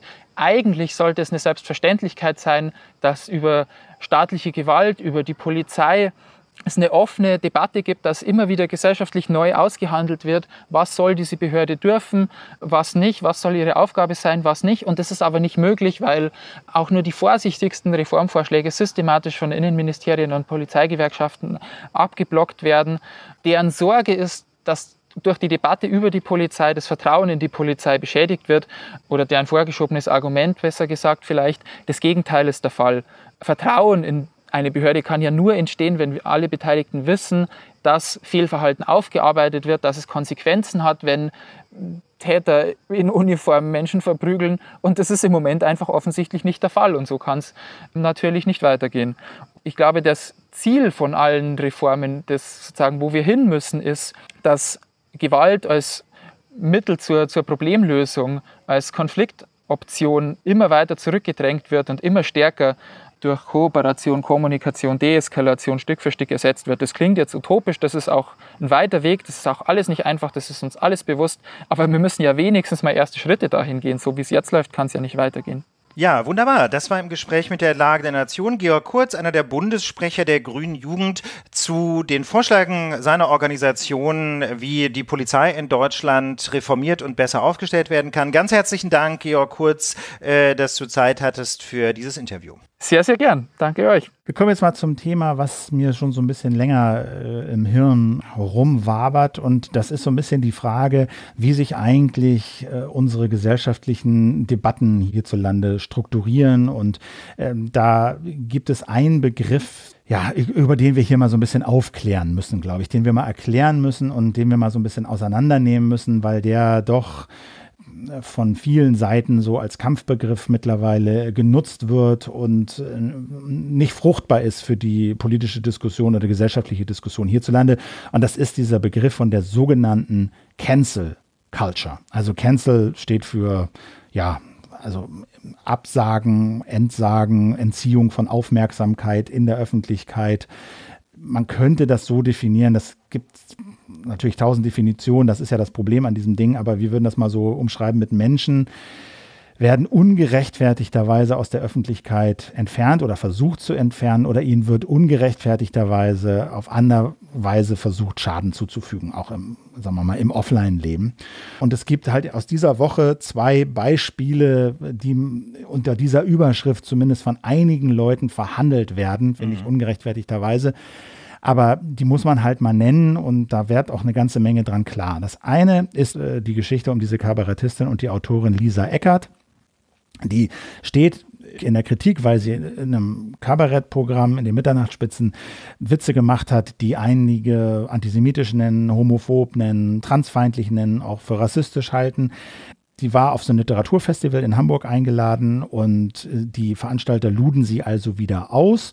Und erste Berichte begründeten diese Ausladung mit, es habe Drohungen gegeben gegen Lisa Eckert und den Veranstalter. Es stellte sich dann aber raus, und das hat der Veranstalter dann auch später richtig gestellt, es habe keine Drohungen gegeben, sondern es hätten sich Menschen, Nachbarn aus der Nachbarschaft gemeldet und seien besorgt gewesen, ob es denn nicht zu Protesten kommen könne, wenn Lisa Eckert da in St. Pauli in so einem linken Stadtteil auftritt. Und dann hat der Veranstalter gesagt, dann lass uns doch an den anderen Ort gehen und haben Lisa Eckert wieder eingeladen. Lisa Eckert wollte dann aber nicht mehr. Und dann haben auch andere Schriftsteller abgesagt, wie Sascha Reh, der sagt ab, weil, Zitat auf Facebook, die Kunstfreiheit nicht gewahrt wird, geht nicht äh, um ihr Kabarett, sondern es geht um einen Debütroman, den sie bei diesem Literaturfestival vorstellen wollen. Den kenn, kenne keiner und die Veranstalter seien eingeknickt vor so einem, das paraphrasiere ich jetzt, halt so einem linken Mob, der da Krawall angedroht hat. Und dann melden sich natürlich Leute zu Wort, wie Dieter Nuhr, ein anderer Kabarettist, der dann von sowas spricht wie Auftrittsverbot und das ist eine totalitäre Maßnahme und der Diskussionsraum wird eingeschränkt, das Sagbare wird eingeschränkt, aus Fäusten werden Argumente. Wo, wozu man natürlich wissen muss, dass Dieter nur seinerseits Probleme hat, wegen, sagen wir mal, zumindest sehr umstrittener Äußerungen, die von manchen Menschen äh, als rechtslastig eingeordnet werden. So ganz vorsichtig formuliert, ne? Genau. Und dieser Fall, dieser Eckert, wurde dann von einigen unter dieser Überschrift Cancel Culture verhandelt, so nach dem Motto, hier übernimmt ein linker Mob äh, die, die Meinungshoheit und die Veranstalter knicken ein. Und jetzt gibt es einen zweiten Fall diese Woche. Das ist ein recht bizarrer Artikel in der Welt. Und da ist die Vorgeschichte, die ARD hatte einen Bericht über Kinderlandheime nach dem Zweiten Weltkrieg ausgestrahlt, in denen Kinder misshandelt wurden. Und geleitet wurden diese Kinderlandheime von ehemaligen hohen SS-Offizieren. Unter anderem hat dann kommentiert, Thorsten Kraul, Chefkommentator von der Welt. Er sei auch in so einem Kinderheim gewesen und der Chef damals sei gewesen Hugo Kraas, ehemaliger SS-General. Und so beschreibt dann Thorsten Kraul in der Welt, erinnere sich, da sei da mal zwei Jahre gewesen, an diese sehr, sehr traurigen Augen und als Kleinkind habe man Instinkt dafür, wie ein Hund vielleicht, schreibt er. Und dann schildert er so, wie diese ehemaligen Nazi-Größen Tür an Tür gelebt hätten mit Leuten, die halt nicht bei der SS waren und das habe doch alles so ganz friedlich geklappt. Und dann Zitat, es waren zwei Welten, aber man wusste voneinander, man mied sich oder traf sich, manchmal auch zum Gespräch. Was es nicht gab, war eine Cancel Culture, die Vertreibung der lebenden Vergangenheit aus dem Gesichtsfeld. Das war rückblickend so unerträglich wie richtig. Es gab viel zu wenig NS-Prozesse, aber es gab keine Rache. Rache ist das zweifelhafte Privileg von Diktaturen. So. Auch da wieder der Begriff Cancel Culture. Und ich glaube, Ulf, wir müssen das mal so ein bisschen sortieren, was es damit auf sich ich, ich war bei, äh, als, äh, bei der Vorbereitung der Sendung schon bei diesem zweiten Beispiel, Philipp, mit dem Weltartikel, ähm, war ich so ein bisschen skeptisch, ob das tatsächlich in diese Diskussion reingehört, mhm. ähm, weil, und, und ich glaube, diese Skepsis hast, teiltest du ja auch, ne? Du hast ja auch das Gefühl, das passt eigentlich nicht. Was ist denn da jetzt, äh, versuchen wir uns dem mal ganz vorsichtig zu nähern, was ja. könnte denn da überhaupt äh, quasi Cancel Culture gewesen sein in diesem, in diesem, äh, in diesem Kontext? Ich verstehe den Weltartikel so äh, und habe ihn deswegen als Beispiel genommen, weil dort das Bestreben nach dem Zweiten Weltkrieg, bekannte SS-Generäle aus dem öffentlichen Leben zu entfernen, ja, mhm. als Cancel Culture gebrandmarkt wird, als Rache. So. Okay, also, ähm, also das ist, okay, jetzt verstehe ich das und das ist natürlich ein außerordentlich problematischer, äh, problematisches Verständnis dieses Begriffs, weil es ihnen endgültig jede Kontur ver äh, verlieren lässt. Ne? Genau. Also, also Menschen, die sich, die sich, äh, die bei der SS aktiv waren, zum Beispiel als Wachmannschaft in einem KZ äh, oder als Erschießungskommando, ne? also Menschen, die sich jedenfalls jedenfalls sehr wahrscheinlich, nicht jeder einzelne SS-Mann ist ein Kriegsverbrecher, aber die Menschen, bei denen es eine sehr hohe Wahrscheinlichkeit gibt für persönliche Verantwortung für Menschheitsverbrechen, ja, also dass man diese Menschen jetzt nicht ausgerechnet Kinder erziehen lässt in irgendwelchen Kinderlandheimen, was auf Deutsch so Ferienlager sind, ne? das hat äh, persönlich doch nichts mit Cancel Culture zu tun, sondern einfach nur quasi mit einer sehr gesunden Reaktion darauf, dass diese Menschen einfach quasi jede moralische Autorität verloren haben. Oder habe ich da jetzt irgendwas falsch verstanden? Nee, das würde ich auch so sehen. Ich habe diese beiden Beispiele genannt, weil sie klar machen, das sind völlig unterschiedliche Sachverhalte. Die da mit diesem selben Begriff belegt werden, ne? Ja. Weißt du, bei dem einen geht es um die Entfernung von, von Nazi-Generälen aus dem öffentlichen Leben nach dem Zweiten Weltkrieg und bei dem anderen geht es um eine umstrittene Kabarettistin, äh, die bei einem Literaturwettbewerb eingeladen, selber wieder abgesagt, ausgeladen wurde. So. Schwierig. Mhm. Und, äh, und das, finde ich, macht erstens deutlich, dass dieser, dass dieser Begriff Cancel Culture als Beschreibung für einen Sachverhalt nicht mehr taugt. Der ist total ausgefranst. okay, aber äh, da würde ich zum Beispiel, da würde, das würde ich glaube ich so ein bisschen differenzierter sehen. Ich glaube ehrlich gesagt, ähm, die Begriffsverwendung durch den Weltredakteur ist einfach falsch. Ich glaube, man kann es, äh, also denn, also jedenfalls 99 Prozent, eigentlich alle mit eben Ausnahmen dieses Weltartikels, Begriffsverwendungen äh, des Begriffs Cancel Culture beziehen sich auf Fälle, die eine gewisse Ähnlichkeit aufweisen zu dem Fall Lisa Eckhardt, da wo Leute eben dafür sanktioniert werden, sanktion, informell sanktioniert werden, öffentlich angeprangert werden, dass sie bestimmte Meinungen vertreten. Das scheint mir der Kerngehalt des, des Begriffs Cancel Culture zu sein. Und ich glaube, der Weltredakteur ähm, verlässt mit seiner Begriffsverwendung einfach diesen, ähm, diesen leidlich klar umrissenen Begriff der Cancel Culture. Und mein Vorschlag wäre, ähm, so für unsere weitere Diskussion, dass wir jetzt sagen, okay, der Begriff ist schwierig, weil er eben für alles Mögliche steht, aber äh, wir, wir jedenfalls, und wir finden ihn deswegen ja auch sehr problematisch, ja, aber ich glaube, für die weitere Diskussion ist es hilfreich zu sagen, wir beschränken uns auf die Fälle, wo es irgendwie, sagen wir mal, um Äußerungen oder um politische Auffassungen Verfassung geht und deren informelle Sanktionierung. Ich glaube, das macht die ja, also Diskussion also ich, so ein bisschen äh, strukturierter. Oder? Genau, und ich habe mir, hab mir auch so ein bisschen überlegt, warum reden wir darüber? Wofür steht das eigentlich, diese Debatte, mhm. diese erhitzte Debatte? Die einen sagen, das ist eine normale Debatte, die anderen sagen, ihr schränkt die Meinungsfreiheit an, ihr, ihr, ihr, ihr, ihr beherrscht den öffentlichen Raum mit eurer linken Diktatur. Ich glaube, hier geht es doch letztlich um eigentlich ein ganz normales Phänomen. Wir reden in der Gesellschaft, diskutieren in der Gesellschaft darüber, welche Äußerungen wir unterstützen, welche wir boykottieren, wo Leute auftreten dürfen, welche Leute auftreten sollten, welche nicht auftreten sollten, meiner Meinung nach. Das ist an sich, sind völlig legitime Debatten. Das Ding ist, es hat sich halt über die letzten Jahre und im Internet der Debattenraum völlig geändert. Es sind viel mehr Leute an der Debatte beteiligt. Sie äh, diskutieren in viel mehr Räumen, also Twitter, Online, Medien etc. Und es stehen viel mehr in Anführungsstrichen Werkzeuge für diese Debatte zur Verfügung. Das sind natürlich einerseits Argumente, das kennen wir, aber es sind eben auch Ausladungen. Absagen von Festivals, Widerworte, Blockieren von Twitter-Accounts, Boykottaufrufe, Boykotts auch Morddrohungen, Doxing auf Twitter, also dass Leuten hinterhergeschnüffelt wird und ihre privaten Daten öffentlich gemacht werden. Es werden Arbeitgeber äh, angeschrieben und äh, ermahnt, da hätte sich jemand falsch verhalten, der müsste doch entlassen werden. Das ist sozusagen das gesamte Arsenal, was da aufgefahren wird. Und ich finde, die Debatte hier muss doch eigentlich darum gehen, welche dieser Werkzeuge sind wann angemessen. Ja, man kann sagen, einige dieser Werkzeuge sind nie angemessen. Morddrohungen zum Beispiel, ja, mhm. ist einfach inakzeptabel. Also vielleicht nur Philipp, um, um das so ein bisschen wieder ja. scharf zu machen. Also wir sind jetzt, wir sind jetzt eben nicht mehr bei diesem völlig ausgefransten Begriffsverständnis, wo Cancel Culture irgendwie gar nichts mehr bedeutet, sondern wir sind jetzt tatsächlich bei der Frage, eine Person vertritt bestimmte politische Haltungen, eine Person äußert sich in bestimmter Weise, meinetwegen auch unter dem Deckmäntelchen des Kabaretts zum Beispiel oder der Kunst. Und dafür gibt es negative Reaktionen in der Öffentlichkeit. Eben, und da gibt es ja inzwischen ein, ein ganzes äh, Arsenal. Ja? Ähm, also das kann ja reichen von öffentlichem Widerspruch, äh, wo glaube ich niemand von ernsthaft von Cancel Culture reden würde, weil das ja völlig normal ist, dass man. Das äh, ist die Frage. Ja? Es, es, reden auch da Leute von Cancel Culture. Aber gut. Aber gut, ja, aber jedenfalls, das ist jedenfalls ja. so das Mildeste, ja, womit man ja jedenfalls rechnen muss, dass man irgendwie Widerworte oder Widerspruch erntet, bis hin tatsächlich zur Morddrohung. Das ist so das, das ist so die quasi die ganze Spannbreite, mit der äh, Personen zu tun haben oder schlimmstenfalls sogar Mordversuche, ja, Stichwort äh, Russland, haben wir, ja, haben wir gehört. Und da, äh, und das ist, glaube ich, die Diskussion, ähm, die wir wichtig finden. Welche Reaktionen sind, sind tatsächlich angemessen darauf, wenn Menschen bestimmte Meinungen vertreten? Richtig. Und ich habe den Eindruck, dass deswegen auch Cancel Culture nicht geeignet ist, weil du, um das beurteilen zu können, ob in einem ganz bestimmten Sachverhalt die Absage oder das Ausladen einer Person von einer Veranstaltung gerechtfertigt ist. Ob es gerechtfertigt ist, äh, die privaten Daten einer Person auf Twitter zu veröffentlichen. Ob es gerechtfertigt ist, den Arbeitgeber einer bestimmten Person da aufzufordern, diese Person zu entlassen und da öffentlich Druck zu machen.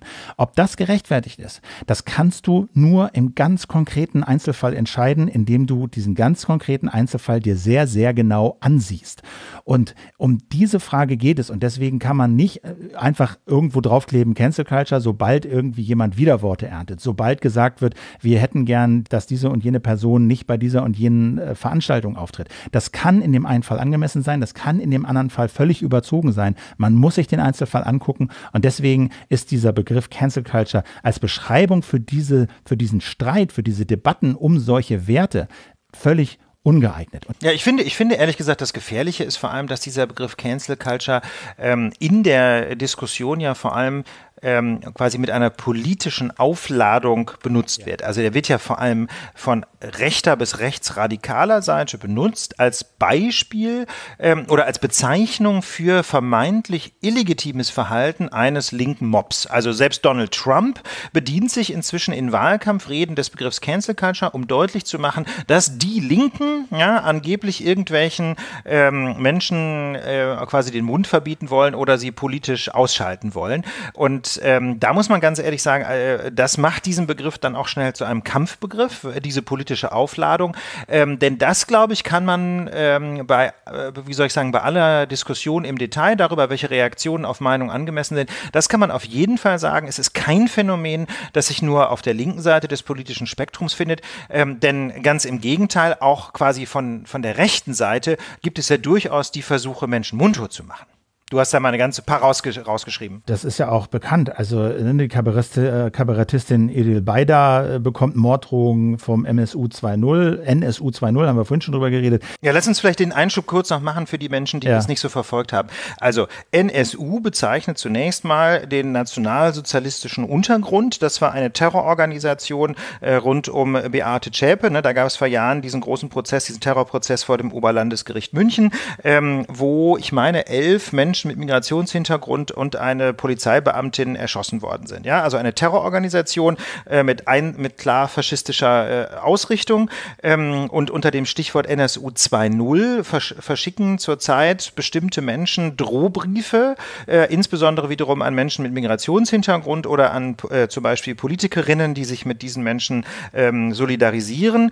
Und das Problem beim NSU 2.0 und vor allem das, also abgesehen davon, dass es natürlich schon mal furchtbar ist, diese Briefe zu schicken, das nächste nächste Problem am NSU 2.0 ist, dass es ganz offensichtlich enge Verbindungen gibt, jedenfalls zur hessischen Polizei, weil äh, Informationen, die in diesen Drohbriefen abgerufen wurden, äh, ganz offensichtlich aus Computern äh, eines Frankfurter Polizeireviers stammen. Das heißt also, entweder sind es Polizeibeamtinnen und Beamte, die diese Briefe schreiben, oder äh, es gibt irgendwelche anderen Rechtsradikalen, die da einen guten Draht haben. Also NSU 2.0 als Beispiel dafür, dass es ähm, aktiven Rechtsextremismus gibt in Deutschland, der wiederum gute Verbindungen hat zur Polizei. Polizei. So, das als vielleicht als Fußnote. Hm? Dann gibt es diese ganze Debatte um dieses Umweltsaulied. Da Hatten haben wir ja wir. damals auch ja. drüber geredet im WDR. Da gab es von konservativer bis rechtsradikaler Seite extremen Shitstorm, extreme Angriffe, weil sie dieses Lied im WDR sagen wir mal vorsichtig, nicht mochten. Dann hat eine äh, Autorin in der Taz einen Satiretext über die Polizei geschrieben, hat dafür Anzeigen bekommen. Die Taz-Redaktion hat sich äh, in mehreren Texten davon distanziert. Der Bundesinnenminister hat, hat quasi die Bestrafung gefordert. Ne? Also selbst ja. Horst Seehofer wollte eine Strafanzeige stellen, er hat es dann, glaube ich, letztlich nicht getan, aber er hat damit natürlich den, den Mob nochmal so richtig äh, angeheizt. Ne, Luisa Neubauer von Fridays for Future bekommt reihenweise Morddrohungen und soll so zum Schweigen gebracht werden. Wie gesagt, Morddrohungen ist außerhalb jeder Diskussion. Aber ob jetzt äh, die Kritik im Einzelnen gerechtfertigt ist oder nicht, da muss man sich halt den Einzelfall angucken. Und ob die Kritik so, wie sie geäußert wird, äh, gerechtfertigt ist, muss man sich den Einzelfall angucken. Und da spielt auch eine Rolle, wer diese Kritik äußert. Ich finde, es macht einen Unterschied, ob Leute mit, was weiß ich, 100.000 Followern auf Twitter jemanden kritisieren oder ob eine marginalisierte Minderheit, die nirgendwo zu Wort kommt, auch mal ihre Rechte einfordert, finde ich, da gibt es andere Möglichkeiten im Werkzeugkasten. Ich finde, die marginalisierten Machtlosen dürfen unter Umständen zu schärferen Werkzeugen greifen als jene, die eine große Macht haben, sei es durch Reichweite, sei es durch Funktion, durch Institution etc. Und all das spielt dabei eine Rolle, ob wir Kritik für gerechtfertigt halten und so wie sie vorgebracht ist, für Gerechtfertigkeiten. Es gibt natürlich, keine Frage, finde ich, Fälle, wo die Kritik maßlos war, wo Leute finde ich zum Beispiel, also wir haben da vor der Sendung auch kurz darüber debattiert, der, The Daily, die New York Times Podcast hat zum Beispiel gebracht von einem Mann, der in einem Central Park eine Frau angesprochen hat, die ihren äh, Hund hat rumlaufen lassen und er beobachtete Vögel und wies sie also darauf hin, dass es hier Parkregeln gebe und dass sie halt ihren Hund bitte an die Leine nehmen soll. Und sie hat ihn darauf äh, quasi bei der Polizei angezeigt mit dem Hinweis, hier, ich werde von einem schwarzen Mann bedroht. Diese Frau ist dann einem Shitstorm ausgesetzt gewesen, die Leute haben halt rausgefunden, wo sie arbeitet, die wurde äh, am Ende entlassen. Ich finde, das ist überzogen. Die Frau ist, hat sich offensichtlich rassistisch geäußert, überhaupt kein Zweifel. Ja, also ich glaube, was man schon deutlich sagen muss, Philipp, ist eben, der Mann war Schwarzer, die Frau war eine Weiße und sie hat ihm auch schon bevor sie die Polizei angerufen hat, angedroht, guter Mann, ich rufe jetzt die Polizei und zwar nicht etwa, weil er was falsch gemacht hat, sondern weil er sie darauf hingewiesen hat, dass sie die Parkregeln verletzt. Ja, muss man sich überlegen. Und daraufhin droht sie ihm, pass mal auf, ich zeige, ich rufe die Polizei und, äh, und implizit, das sagt sie nicht ausdrücklich, aber implizit wird deutlich, du weißt doch auch, was das bedeutet, da kommen dann weiße Polizeibeamte, die werden dich zur Sau machen. Das ist quasi die Drohung, die implizit mitschwingt in dem, was sie sagt. Und das ist eben von einer dritten Person gefilmt worden. Und so konnte dieser Vorfall ähm, äh, quasi äh, in der amerikanischen Diskussion so weit hochkochen, ähm, dass äh, dieser Frau eben dann denke ich, völlig zu Recht der Vorwurf gemacht wurde, dass sie White Privilege ausnutzt, dass sie quasi ihre gesellschaftlichen Vorteile daraus einfach nur, dass sie weiß ist und er schwarz, ein schwarzer Mann ausnutzt, äh, um ihn zum Schweigen zu bringen und davon, äh, davon abzuhalten, legitime Wünsche an sie zu richten, nämlich die Parkregeln einzuhalten, damit er Vögel beobachten kann und ihr Köter dann nicht irgendwie die Vögelchen vertreibt. Ja, das war der deshalb angemessen, sie aus ihrem, ich glaube, das war so ein Banking-Job also ich, ich finde, äh, genau, das finde ich, das finde ich eben die spannende Frage. Auch das ist wieder erstmal so ein Fall der Cancel Culture, ehrlich gesagt, jedenfalls eigentlich überdehnt, ne? denn äh, sie wird ja hier nicht dafür bestraft, dass sie eine Meinung oder sanktioniert im weiteren Sinne, dass sie eine Meinung äußert, sondern sie wird im Grunde dafür sanktioniert, dass sie sich in einer gesellschaftlich völlig inakzeptablen Weise verhalten hat, nämlich quasi rassistische Stereotype bei der Polizei auszunutzen und sich für ihre privaten Zwecke nutzbar zu machen. Das finde ich schon moralisch extrem verwerflich, ähm, aber es geht nicht um, um Äußerungen, insofern wieder eigentlich kein richtiger Fall von Cancel Culture, aber das zeigt das, Philipp, was du eben schon gesagt hast, der Begriff franzt völlig aus. Ähm, ich persönlich finde es verständlich, wenn ein Unternehmen, sie hat bei irgendeinem, äh, bei irgendeinem Finanzdienstleister gearbeitet, ja, ich finde, oder ein Beratungsunternehmen, eins von beiden, ähm, ich finde es völlig verständlich, wenn ein Arbeitgeber sagt, so eine rassistische Mitarbeiterin ist unseren Kundinnen und Kunden nicht zu vermitteln. Das finde ich völlig nachvollziehbar. Ne, denn das ist ja für den, für den Arbeitgeber kaum zumutbar, äh, jemanden zu beschäftigen, der in einer so krassen Weise öffentlich äh, äh sich rassistisch betätigt. Also ja, kann ich nachvollziehen. Es sei denn, sie, wer, wer weißt du, anders, wenn sie jetzt bei, jetzt mal überspitzt formuliert, wenn sie jetzt ja. bei Amazon Pakete packen würde und niemand wüsste, dass sie da beschäftigt ist, in, sie würde in irgendeiner dunklen Halle arbeiten, würde ich das noch anders sehen. Aber hier, weißt du, bei einem Unternehmen, wo sie unmittelbar mit, mit Kunden und Kundinnen zu tun hat, kann ich verstehen, dass man sagt, die können wir ja nicht mehr haben.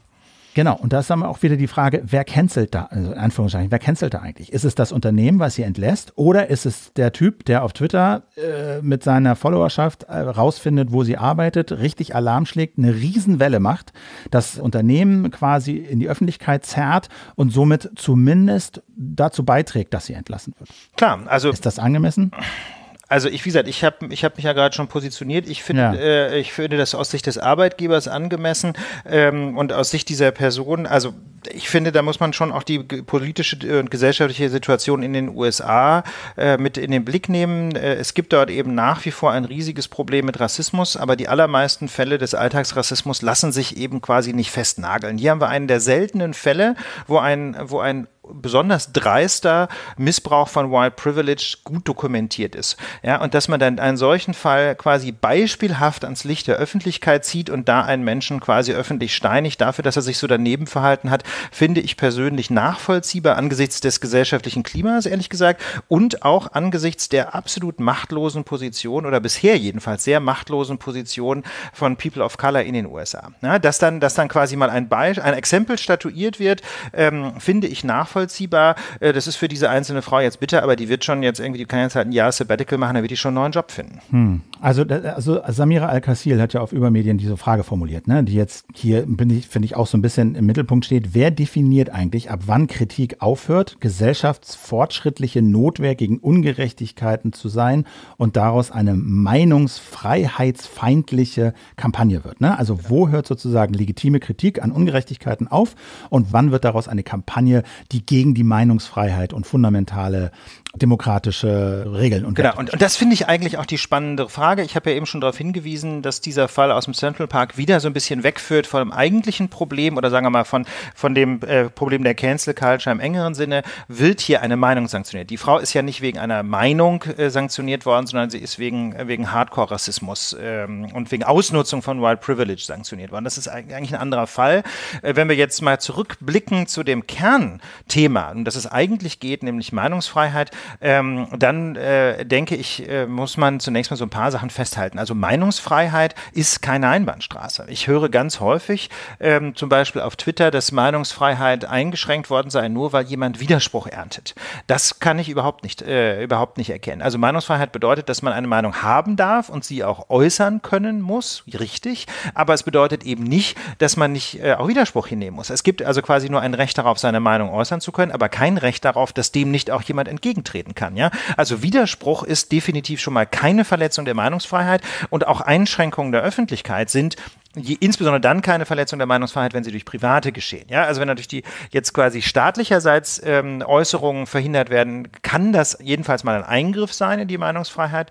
Ähm, aber wenn andere private ähm also Literaturfestival sagt, ja, genau. ich will ich, ich, will nicht, ich will sagen äh, der Kabarettistin ab aus Gründen, wie Sie sagen, wir können die Sicherheit nicht gewähren oder der Veranstaltungsort, an dem wir das machen wollten, sagt, er könne die Sicherheit nicht gewähren. Deswegen geht das jetzt? Also ich finde, diese Sicherheitsfragen sind, machen die Sache wieder so ein bisschen komplexer, aber ganz generell würde ich denken, äh, weil, ja, weil man es einfach nicht beurteilen kann, weil ja. es halt sein kann, dass es nicht anders ging und so. Aber ich finde, die spannende Frage ist doch eigentlich, ist es, nicht, ist es denn legitim, dass ein Festival zum Beispiel in Ausübung seiner Programmhoheit sagt, diesen Menschen wollen wir hier nicht mehr reden lassen? Ja, also eine Ausladung, das ist ein Beispiel. Ein weiteres Beispiel wäre ein wesentlich milderes Beispiel. Ich entfolge jemanden auf Twitter. Ich will mir einfach nicht mehr angucken, was der sagt. Oder auf Instagram oder auf Facebook. Ich entfreunde den. Oder etwas härter wieder, ich veranstalte eine Gegendemonstration. Also ich finde, diese zum Beispiel dieser Hetzer soll bitte nicht, ähm, nicht unwidersprochen reden dürfen. Deswegen veranstalte ich eine Gegendemo. All das sind. Oder ich störe, wie bei Bernd Lucke. Als das ist natürlich wiederum eins härter. Ne? Das muss man sehen. Also eine das Störung. Ist wieder eins härter. Und, genau, genau. Ja. Und das sind, Aber finde, das, wann ist das legitim? Ich finde, also wer entscheidet das? Ich finde das ehrlich gesagt äh, ganz wichtig, dass das niemand in dem Sinne äh, ultimativ entscheiden kann, sondern das ist quasi ein, die Frage, die jeder Einzelne sich oder jede Einzelne sich stellen muss, wann ähm, richte ich mich gegen eine Äußerung. Ich finde grundsätzlich mal Widerspruch, in welcher Form auch immer unproblematischer als tatsächlich ähm, äh, Äußerungen zu verhindern. Das macht diesen Bernd Lucke-Boykott so problematisch. Aber im Grundsatz denke ich, ähm, muss man mit verschiedensten Formen des Widerspruchs und auch mit Einschränkungen, insbesondere wenn es vom Privaten kommt, mit Einschränkungen quasi von Resonanzräumen, von Reichweite leben. Denn ganz ehrlich, nicht jede Meinung ist äh, in einer Demokratie gleich wertvoll. Man muss es in aller Deutlichkeit sagen. Wir leben eben nicht in einer, äh, in einer Rechtsordnung, die keine Werte kennt. Ganz im Gegenteil. Ich finde, äh, die Einschränkung von Resonanzräumen, die Einschränkung von Reichweite auch und Widerspruch können eine legitime Reaktion sein, quasi eines gesellschaftlichen Immunsystems auf gefährliche Äußerungen. Und was meine ich mit gefährlichen Äußerungen? Damit meine ich nicht einfach nur Dissens und Kritik, selbstverständlich, ja, sondern Dissens, Kritik, Widerspruch sind in einer Demokratie ganz wesentlich, sondern ähm, eindämmen sollte man das, was man so unter geistiger Brandstiftung versteht. Also Äußerungen, die sich richten gegen die Werteordnung unseres Grundgesetzes, rassistische Äußerungen, an, äh, diskriminierende Äußerungen, antifeministische Äußerungen zum Beispiel. Und das ist, denke ich, die Frage, die sich jeder stellen sollte. Widerspruch ist, denke ich, immer legitim, aber die Einschränkung von, von Reichweite, die Einschränkung von, von äh, quasi de, von, von Räumen, wo sich Leute äußern, das ist eine schwierigere Frage und da muss man sich immer die Frage stellen, ist diese Meinung, die da mutmaßlich geäußert wird, ist die gefährlich für unsere Demokratie? Gibt es gute Gründe dafür, sie nicht äußern zu dürfen? Und da finde ich, sollte in, in einer eben, wie gesagt, nicht wertneutralen Ordnung, sondern in einer Rechtsordnung mit einer Wertordnung, wie sie das Grundgesetz eben ist, sollte die entscheidende Frage immer sein, ist das, was der Mensch da verbreitet, vereinbar mit den, mit den, mit den Werten unseres Grundgesetzes. Ein paar habe ich davon eben aufgezählt. Das wäre für mich immer die zentrale Frage. Und bei Bernd Lucke zum Beispiel ähm, bin ich, wir haben das damals ja auch diskutiert, haben uns da ziemlich offen geäußert. Ich bin so in der Rückschau eigentlich der Meinung, dass diese Blockade zu viel war. Ich finde, man hätte sich auf eine Gegendemonstration beschränken sollen, denn Bernd Lucke ist zwar natürlich eine historisch schwer belastete Person, ja, weil er nämlich die, äh, die menschenfeindliche AfD mitgegründet hat, aber er persönlich vertritt ja deutlich weniger menschenfeindliche Thesen. Er hat sich insbesondere vor allem immer gegen die Europäische Union gerichtet, gegen den Euro gerichtet. Also er gehört ja quasi aus, zu diesem ähm, quasi wirtschaftstheoretischen Gründerflügel der AfD ähm, oder wirtschaftspolitischen Gründerflügel. Und ähm, ihm da von vornherein das Wort zu verbieten, fand ich, finde ich persönlich in der Rückschau zu hart. Ja, sondern da hätte man es bei einer Gegendemo belassen sollen. Das hätte möglicherweise auch schon gereicht. Zumal das da, da ja auch noch seine Lehrfreiheit an der Uni beeinträchtigt hat. Aber wie gesagt, ich, du hast es eben sehr schön auf den Punkt gemacht, Philipp. Es kommt immer aus meiner Sicht auf den Einzelfall an, aber ein zentrales zentrale Leitfrage könnte für mich immer sein, ein Widerspruch geht immer, aber wirklich jemanden wie soll ich sagen, zum Schweigen bringen, ja, oder der seinen Einfluss beschränken, das ist aus meiner Sicht nur dann zu rechtfertigen, wenn sich jemand äh, aktiv stellt gegen die Werteordnung unserer Verfassung. Ja, das ist natürlich immer nicht so einfach zu sagen. Ne? Richtig. Ne? Also dieser Eckert äh, hat natürlich Witze gemacht, die kann man jetzt gut oder schlecht finden. Es ging um Juden und äh, Schwule und so. Ähm, man kann das als Provokation sehen, als Satire sehen. Äh, so, da gibt's natürlich immer einen Streit darüber. Klar. Also einen Punkt wollte ich nur ganz kurz machen, äh, damit nur, das habe ich eben schon gesagt, aber ich würde es gerne nochmal klar machen, weil ich Angst habe, dass es sonst in den falschen Hals kommt. Was ich gerade geschildert habe, das ist quasi die, die Perspektive, die ich als Privatperson einnehmen würde.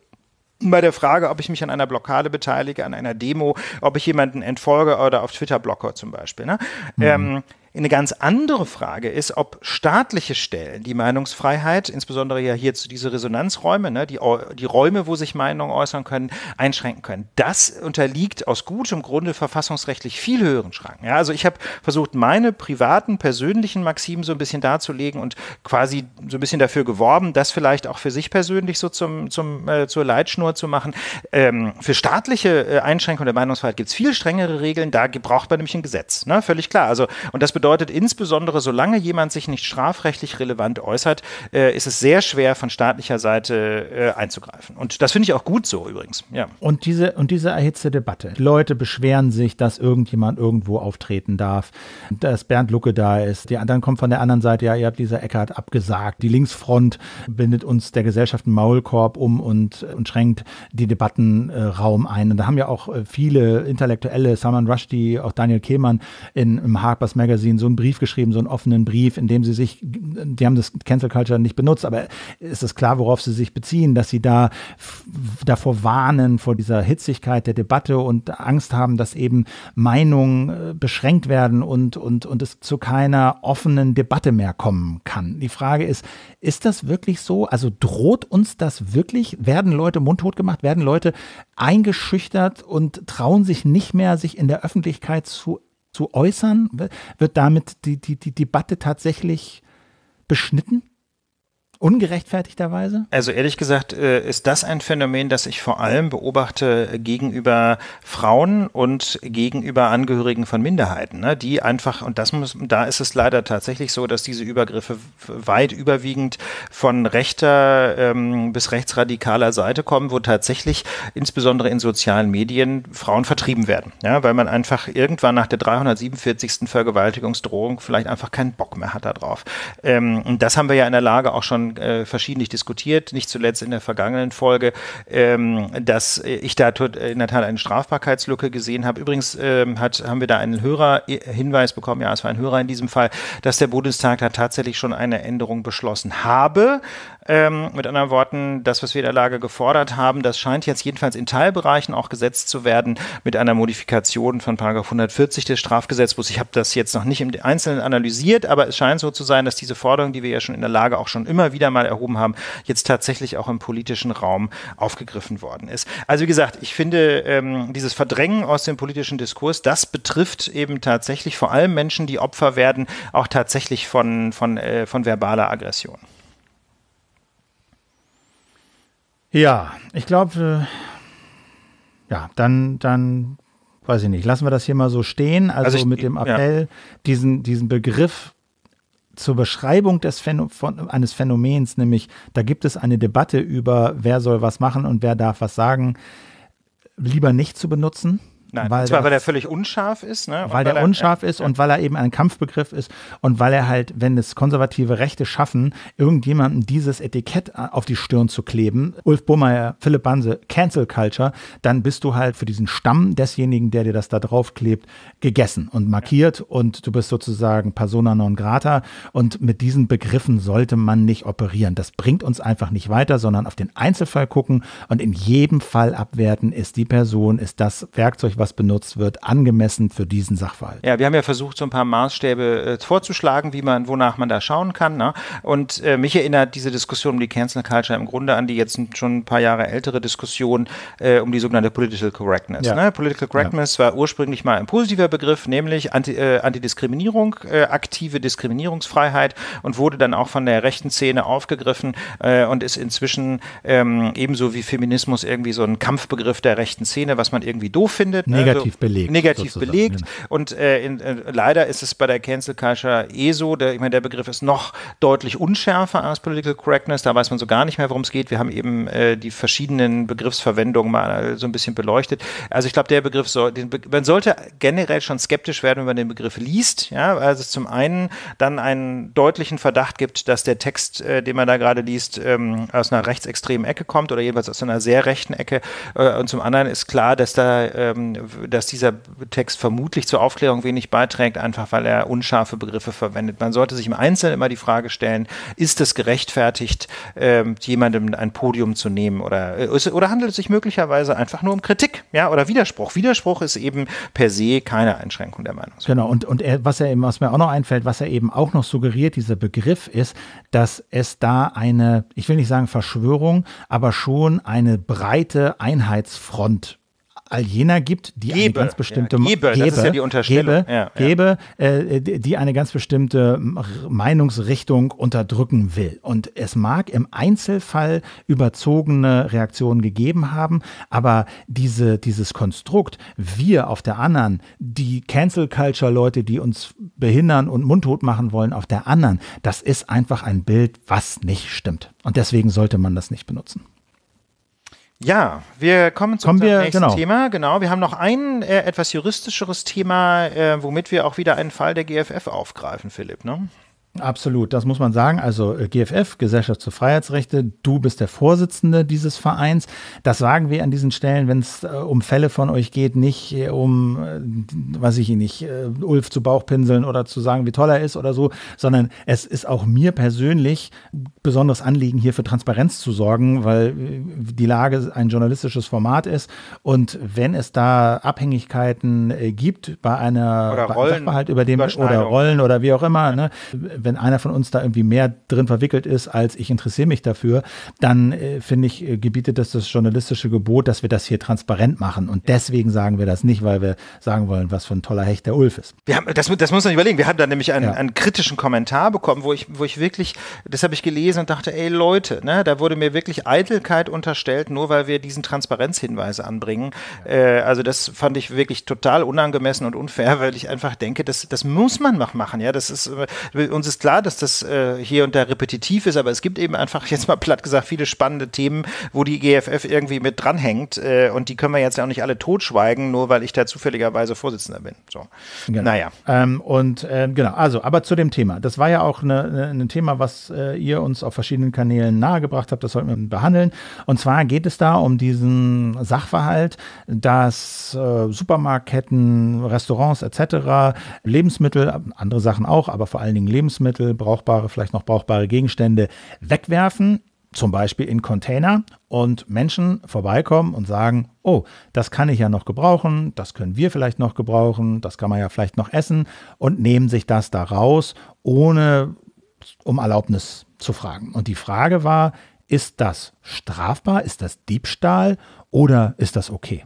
Und da hat das Bundesverfassungsgericht jetzt auf euer Betreiben hin ein Urteil gefällt, was da lautet, ja, das Bundesverfassungsgericht ähm, hat die Verfassungsbeschwerde zurückgewiesen, weil es der Meinung ist, dass die, äh, dass in diesem Fall, in dem ganz konkreten Fall, die Verurteilung zweier Studentinnen Bestand haben soll. Und ähm, das finden wir deswegen spannend, ähm, weil es über das Containern hinaus noch so ein paar andere Rechtsfragen ähm, deutlich macht, äh, die, die einfach, glaube ich, ganz spannend sind und die auch zeigen, was aus meiner Sicht jedenfalls äh, in der Strafrechtsprechung des Bundesverfassungsgerichts gerade schiefläuft. Aber vielleicht so zwei, drei Sätze noch zum Fall. Wie gesagt, gesagt, zwei Studentinnen hatten, ich glaube, 2018, wie das so schön heißt, containert, also noch, noch essbare Lebensmittel aus einem Container eines bayerischen Supermarkts entfernt, sind dabei von der Polizei erwischt worden äh, und dann vom Amtsgericht verurteilt worden, allerdings relativ milde, muss man sagen, also vor allem zu Sozialstunden.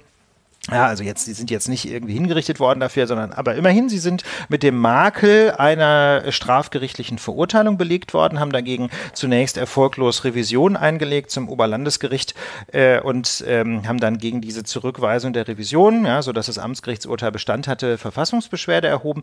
Und das Bundesverfassungsgericht ähm, hat im Wesentlichen äh, und, und die zentrale Argumentation war jetzt nicht etwa ja, Lebensmittelverschwendung bekämpfen. Ja, das war das eigentliche Thema, was die Studierenden oder oder Studentinnen interessiert hat, äh, ein Zeichen gegen Lebensmittelverschwendung, sondern aus Sicht der GFF ist das kein Thema. Also muss man ganz ehrlich sagen, wir sind ein Verein zum Schutz von Grundrechten. Lebensmittelverschwendung finden wir persönlich doof, aber das ist kein Thema, das die GFF äh, betreiben würde, als denn das ist ein, einfach ein genuin politisches Thema. Ähm, und ehrlich gesagt spendet uns auch als Grundrechteorganisation keiner Geld, damit wir Lebensmittelverschwendung bekämpfen. Ja, das ist einfach, ne, muss, das muss man deutlich sagen. Das ist, äh, aber euer Punkt war? Unser Punkt war, äh, ja genau, ich äh, sage das deswegen, weil das auch in unserer Kommunikation Kommunikation nach außen nicht immer ganz deutlich geworden ist, worüber ich so wiederum ein bisschen unglücklich bin. Egal. Unser zentraler Punkt war, ähm, Stra die, die, ähm, die Frage, ob man äh, Verhaltensweisen unter Strafe stellen kann, die überhaupt nicht strafwürdig sind. Und der Hintergrund da ist, äh, Bestrafung, ja, Kriminalstrafe ähm, enthält ja ein sozialethisches Unwerturteil. Also die Grundidee ist bei einer, so, bei einer strafrechtlichen Verurteilung nicht nur, wir möchten, dass der Mensch das nicht macht, nicht nochmal macht, Spezialprävention, wir möchten, dass die Gesellschaft so etwas nicht tut, Generalprävention, sondern es, da schwingt ja auch immer ein sozialethisches Unwerturteil mit. Mit anderen Worten, du bist ein schlechter Mensch, du hast was falsch gemacht. Das ist böse. Das ist böse. Ja, das und da äh, und das finden wir, äh, und das ist auch im Grunde in der Strafrechtswissenschaft anerkannt, das ist quasi so die Ultima Ratio äh, einer staatlichen Reaktion auf ein vermeintliches Fehlverhalten. Also der Staat ähm, ähm, kann kaum härter reagieren als mit einer strafgerichtlichen Verurteilung. Das ist das Härteste, was man tun kann. Ja? Mildere Mittel wären zum Beispiel, eine Verwaltungsbehörde untersagt das oder es gibt ein, äh, ein Ordnungswidrigkeitenverfahren, wo an dessen Ende dann zum Beispiel ein Bußgeld stünde. Nein, die strafgerichtliche Verurteilung ist das Härteste, Größte, was der Staat tun kann. Auch dann, wenn es, wie im konkreten Fall, jetzt keine hohe Strafe gab, also keine hohe Geldstrafe oder gar eine Freiheitsstrafe, sondern nur eine Verurteilung zu Sozialstunden. So. Ähm, und, und die Frage stellt sich halt, wann ist ein solches hartes Urteil, was eben die härteste Reaktion des Staates, die überhaupt denkbar ist, wann ist das denn überhaupt verhältnismäßig? Und dieser Ultima Ratio-Gedanke, ja, schwer, quasi schärfstes Schwert der staatlichen Reaktion, ähm, dieser Ultima Ratio-Gedanke, der ist auch schon seit Jahrzehnten in der Rechtsprechung des Bundesverfassungsgerichts präsent. Immer wieder sagt das Bundesverfassungsgericht, Strafrecht ist die Ultima Ratio. Strafrecht ist das härteste, was der Staat tun kann, mhm. daher Verhältnismäßigkeit. Das Problem ist nur, und in gewisser Hinsicht auch total irritierend, ständig werden, ähm, werden Gesetze oder Einzelmaßnahmen vom Bundesverfassungsgericht gekippt wegen Verstoßes gegen den Verhältnismäßigkeitsgrundsatz. Ja, das haben wir in der Lage auch schon dutzendfach solche Fälle mhm. besprochen. Zuletzt jetzt das BND-Urteil im Mai, äh, auch ein GFF-Fall, wo eben die Auslandsüberwachung gekippt wurde, wegen Unverhältnismäßigkeit in zentralen Punkten. Nur im Strafrecht gilt das irgendwie nicht. Im Strafrecht hat das Bundesverfassungsgericht so gut wie nie, muss man sagen, es gibt ganz wenige Ausnahmen, aber so gut wie nie ähm, die, äh, die Auffassung vertreten, dass Verhalten unter Strafe zu stellen, das verletzt diesen Ultima Ratio-Gedanken, weil dieses Verhalten einfach nicht so wahnsinnig böse ist. Oder andersrum, positiv formuliert kann man sagen, das Bundesverfassungsgericht lässt dem Gesetzgeber einen enorm weiten Spielraum. Ja, in, Afgan in allen möglichen Rechtsgebieten gibt es einen engen Spielraum, ja, bei Überwachungsgesetzen, im Steuerrecht oder zum Beispiel 2008 beim Nichtraucherschutz. Ja, also da hat das Bundesverfassungsgericht gesagt, also es muss ein klares Konzept geben, das muss in sich widerspruchsfrei sein, wann man das Rauchen in Kneipen verbieten darf und wann nicht. Damit also, es verhältnismäßig ist. Damit es ne? verhältnismäßig ist. Das sind alles ganz, da hat es fast in allen Lebensbereichen schaut das, oder in allen Rechtsbereichen schaut das Bundesverfassungsgericht ganz genau hin. Nur im Strafrecht kann der Staat quasi, jetzt mal etwas überspitzt formuliert, machen, was er will. Er kann sogar ein Verhalten wie das von diesen beiden Studentinnen bestrafen obwohl die sich, ähm, na, die haben zwar formal verstoßen gegen den Diebstahlsparagraphen, aber eigentlich, sagen wir mal, sind sich breiteste Kreise in der Gesellschaft, glaube ich, einig, dass das jetzt nicht verwerflich ist, essbare Lebensmittel davor zu retten, keine Ahnung, auf der Mülldeponie oder in der Müllverbrennungsanlage zu, ähm, mhm. zu landen. Ja? Also ich weiß nicht, Philipp, wie, wie würdest du das moralisch ja, genau, einschätzen? Das ist, das, genau, das, spannende das Frage. Ja auch, war, genau, das war ja auch das, das Ding, warum mich das so interessiert hat. Äh, ich habe mich damals schon gewundert, äh, dass das äh, geahndet wurde. So, ja, habe ich dann gedacht, okay, formal kann man das irgendwie nachvollziehen. Das äh, gehört halt jemandem und die schmeißen das in den Container. Das heißt nicht, dass das denen nicht gehört, sondern die sagen, wir schmeißen es halt in den Container und dass dann Leute kommen und ohne zu fragen das wegnehmen. Ja, gut, wenn man es eng auslegt, kann man das sicherlich als Diebstahl bezeichnen. Aber muss man das bestrafen irgendwie? Muss man die Leute, die haben ja dann eine Vorstrafe und alles. Ne? Ja, genau, die sind vorbestraft, ähm, genau. Äh, vorbestraft und so. Ähm, genau, deswegen fand ich das jetzt auch nochmal interessant. Und die Frage ist ja, was, was heißt denn das? Also das ist ja also einerseits ein bisschen komisch, weil man so denkt, hm, da hätte man sich gewünscht, dass der Staat da ein bisschen oder zu liberalerem Verhalten angehalten wird, so. Ähm, aber was heißt denn das jetzt so grundsätzlich? Also für diesen Fall ist es klar, aber hat er auch noch Auswirkungen auf andere Fälle? Also ähm, genau, da, vielleicht dazu, da kann man noch mal sagen, warum wir den als GFF übernommen haben. Also wir als GFF hatten ähm, den Wunsch und die Hoffnung, dass dieser Ultima Ratio-Gedanke, Verhältnismäßigkeit äh, im Strafrecht, äh, endlich mal in der Rechtsprechung des Bundesverfassungsgerichts auch Folgen hat. Wie gesagt, genannt wird er immer schon, aber er hat nie Folgen. Und wir dachten, dieser Fall, der eignet sich ganz besonders, um mal deutlich zu machen, ähm, dass es Verhaltensweisen gibt, die absolut nicht strafwürdig sind, die aber gleichwohl unter Strafe gestellt werden. Das war so unser, unser Versuch. Ähm, man muss sagen, dieser Versuch ist jetzt erstmal gescheitert. Ich, vielleicht lohnt es sich aber der Fairness halber noch zwei Sätze zu sagen äh, zur Argumentation des Bundesverfassungsgerichts. Warum? Also Sie sagen zunächst mal ähm, ganz formal, das ist ein Eingriff in, äh, das ist ein Verstoß gegen den Diebstahlsparagraphen. Ja, ja da will ich jetzt nicht im Einzelnen subsumieren. Ja. Das ist rechtlich auch richtig so. Ähm, und Sie sagen dann zum Zweiten aber, dass das tatsächlich unter Strafe gestellt wird, ist auch nachvollziehbar, weil es tatsächlich noch ein Interesse des Supermarkts als äh, Eigentümer gibt, dass das bestraft wird. Und die Begründung ist, und das muss man sich mal reintun, die Begründung ist, der Supermarkt hat die Sachen weggeworfen, damit hat er sein Eigentum aber noch nicht aufgegeben, weil er ein Interesse daran hat, dass diese, wie gesagt, noch guten Lebensmittel vernichtet werden. Denn wenn diese Lebensmittel nicht vernichtet werden und vielleicht doch nicht mehr genießbar waren, dann könnte das ja irgendwie mittelbar zum Beispiel einen Rufschaden für den Supermarkt nach sich ziehen. Das ist die Argumentation des Bundesverfassungsgerichts, warum es in Ordnung ist, davon auszugehen, dass der Supermarkt ein Interesse daran hat, dass diese Lebensmittel tatsächlich vernichtet werden und nicht quasi aus dem Müll gerettet werden. Ähm, und das muss man sich mal auf der Zunge zergehen lassen. Und wenn, wenn, der, wenn tatsächlich dieses, sagen wir mal, minimale Interesse, ja, wenn das überhaupt stimmt, dieses PR-Interesse, ja, wenn ja, das ist, ist, das denn, ja? also wurde das denn so vorgetragen? Wie ist denn das? Waren da Supermarktvertreter und haben das angezeigt oder? oder äh, nee, die Polizei hat das angezeigt, weil sie die Leute. Die Polizei hat das hat. angezeigt, ja. aber das war, es war, wurde auch im Verfahren auch keiner angehört aus dieser Einzelhandels. Äh, das steht nicht in der Entscheidung, kann ich dir nicht sagen. Ah. Kann ich dir nicht sagen, was der Supermarkt also das wär, Also äh, ehrlich gesagt klingt es mir so, als wenn der wissenschaftliche Mitarbeiter des Bundesverfassungsgerichts, der diesen Entscheidungsvorschlag geschrieben hat, ähm, als wenn der schlicht und ergreifend sich mal irgendwie unter der Dusche hingestellt hat, na, was fällt uns denn jetzt noch ein, welches Interesse dieser Supermarkt haben könnte. Es liest sich ehrlich gesagt nicht so, als wenn das Parteivortrag gewesen wäre, ähm, sondern es liest sich für mich wirklich so, als wenn da jemand quasi unter Aufbietung der letzten Kreativität sich noch irgendwas hat einfallen lassen, wieso dieser Supermarkt noch ein Interesse an diesen Lebensmitteln hat, die er, wie gesagt, in den Müll geworfen hat, ja, dass die eben nicht gerettet, sondern vernichtet werden. Ich finde diese Argumentation also hart an der Grenze des Absurden. Ich habe selten, äh, selten in einer Entscheidung des Bundesverfassungsgerichts etwas gelesen, was so gaga ist aus meiner Sicht. Denn also mich erinnert das so ein bisschen an diese Diskussion, die ich aus der Deutschen Bahn mal gehört habe. Da ging es darum, können wir Fahrplandaten eigentlich open sourcen. Ja, genau, ne? ganz, ja, genau. Also ja. so, ähm, und dann war immer das Argument, nee, können wir nicht, weil dann steht in irgendeiner App, der Zug fährt von da nach da um so viel Uhr. Und dann stimmt und das nicht? Dann stimmt das nicht und dann haben wir einen Rufschaden. Dann sagen alle, die Bahn ist doof, äh, so. Ähm, das ist mittlerweile total kalter Kaffee. Du kannst deine Bahndaten überall äh, ne, in Google und whatever. Ist längst durch das Thema. Ne? Ist längst durch das Thema. Und jetzt mal ähm, bezogen auf den Supermarkt, Philipp, jetzt mal ganz ehrlich, du bist ja, du bist ja der Journalist von uns beiden. Kannst du dir ernsthaft vorstellen, dass in der Öffentlichkeit zum Beispiel, ich weiß nicht mehr, welcher Supermarkt das war, nehmen wir mal, stellen wir mal, gehen wir mal aus, es war vielleicht ein Lidl, ja? Kannst du Lidl, dir vorstellen? Ich glaube, es war ein Lidl. Ja, ich glaube, es war ein Lidl. Lidl sagt, ähm, nee, dass die äh, Öffentlichkeit also, sagt, Lidl, Lidl ist ein Obdachloser hat Magenverstimmung. Lidl ist, Lidl schuld. ist schuld. Weil er, den, weil, er, weil er Joghurts aus Lidls Mülltonne geklaut hat. Kannst du dir das ernsthaft vorstellen, dass Lidl schuld ist?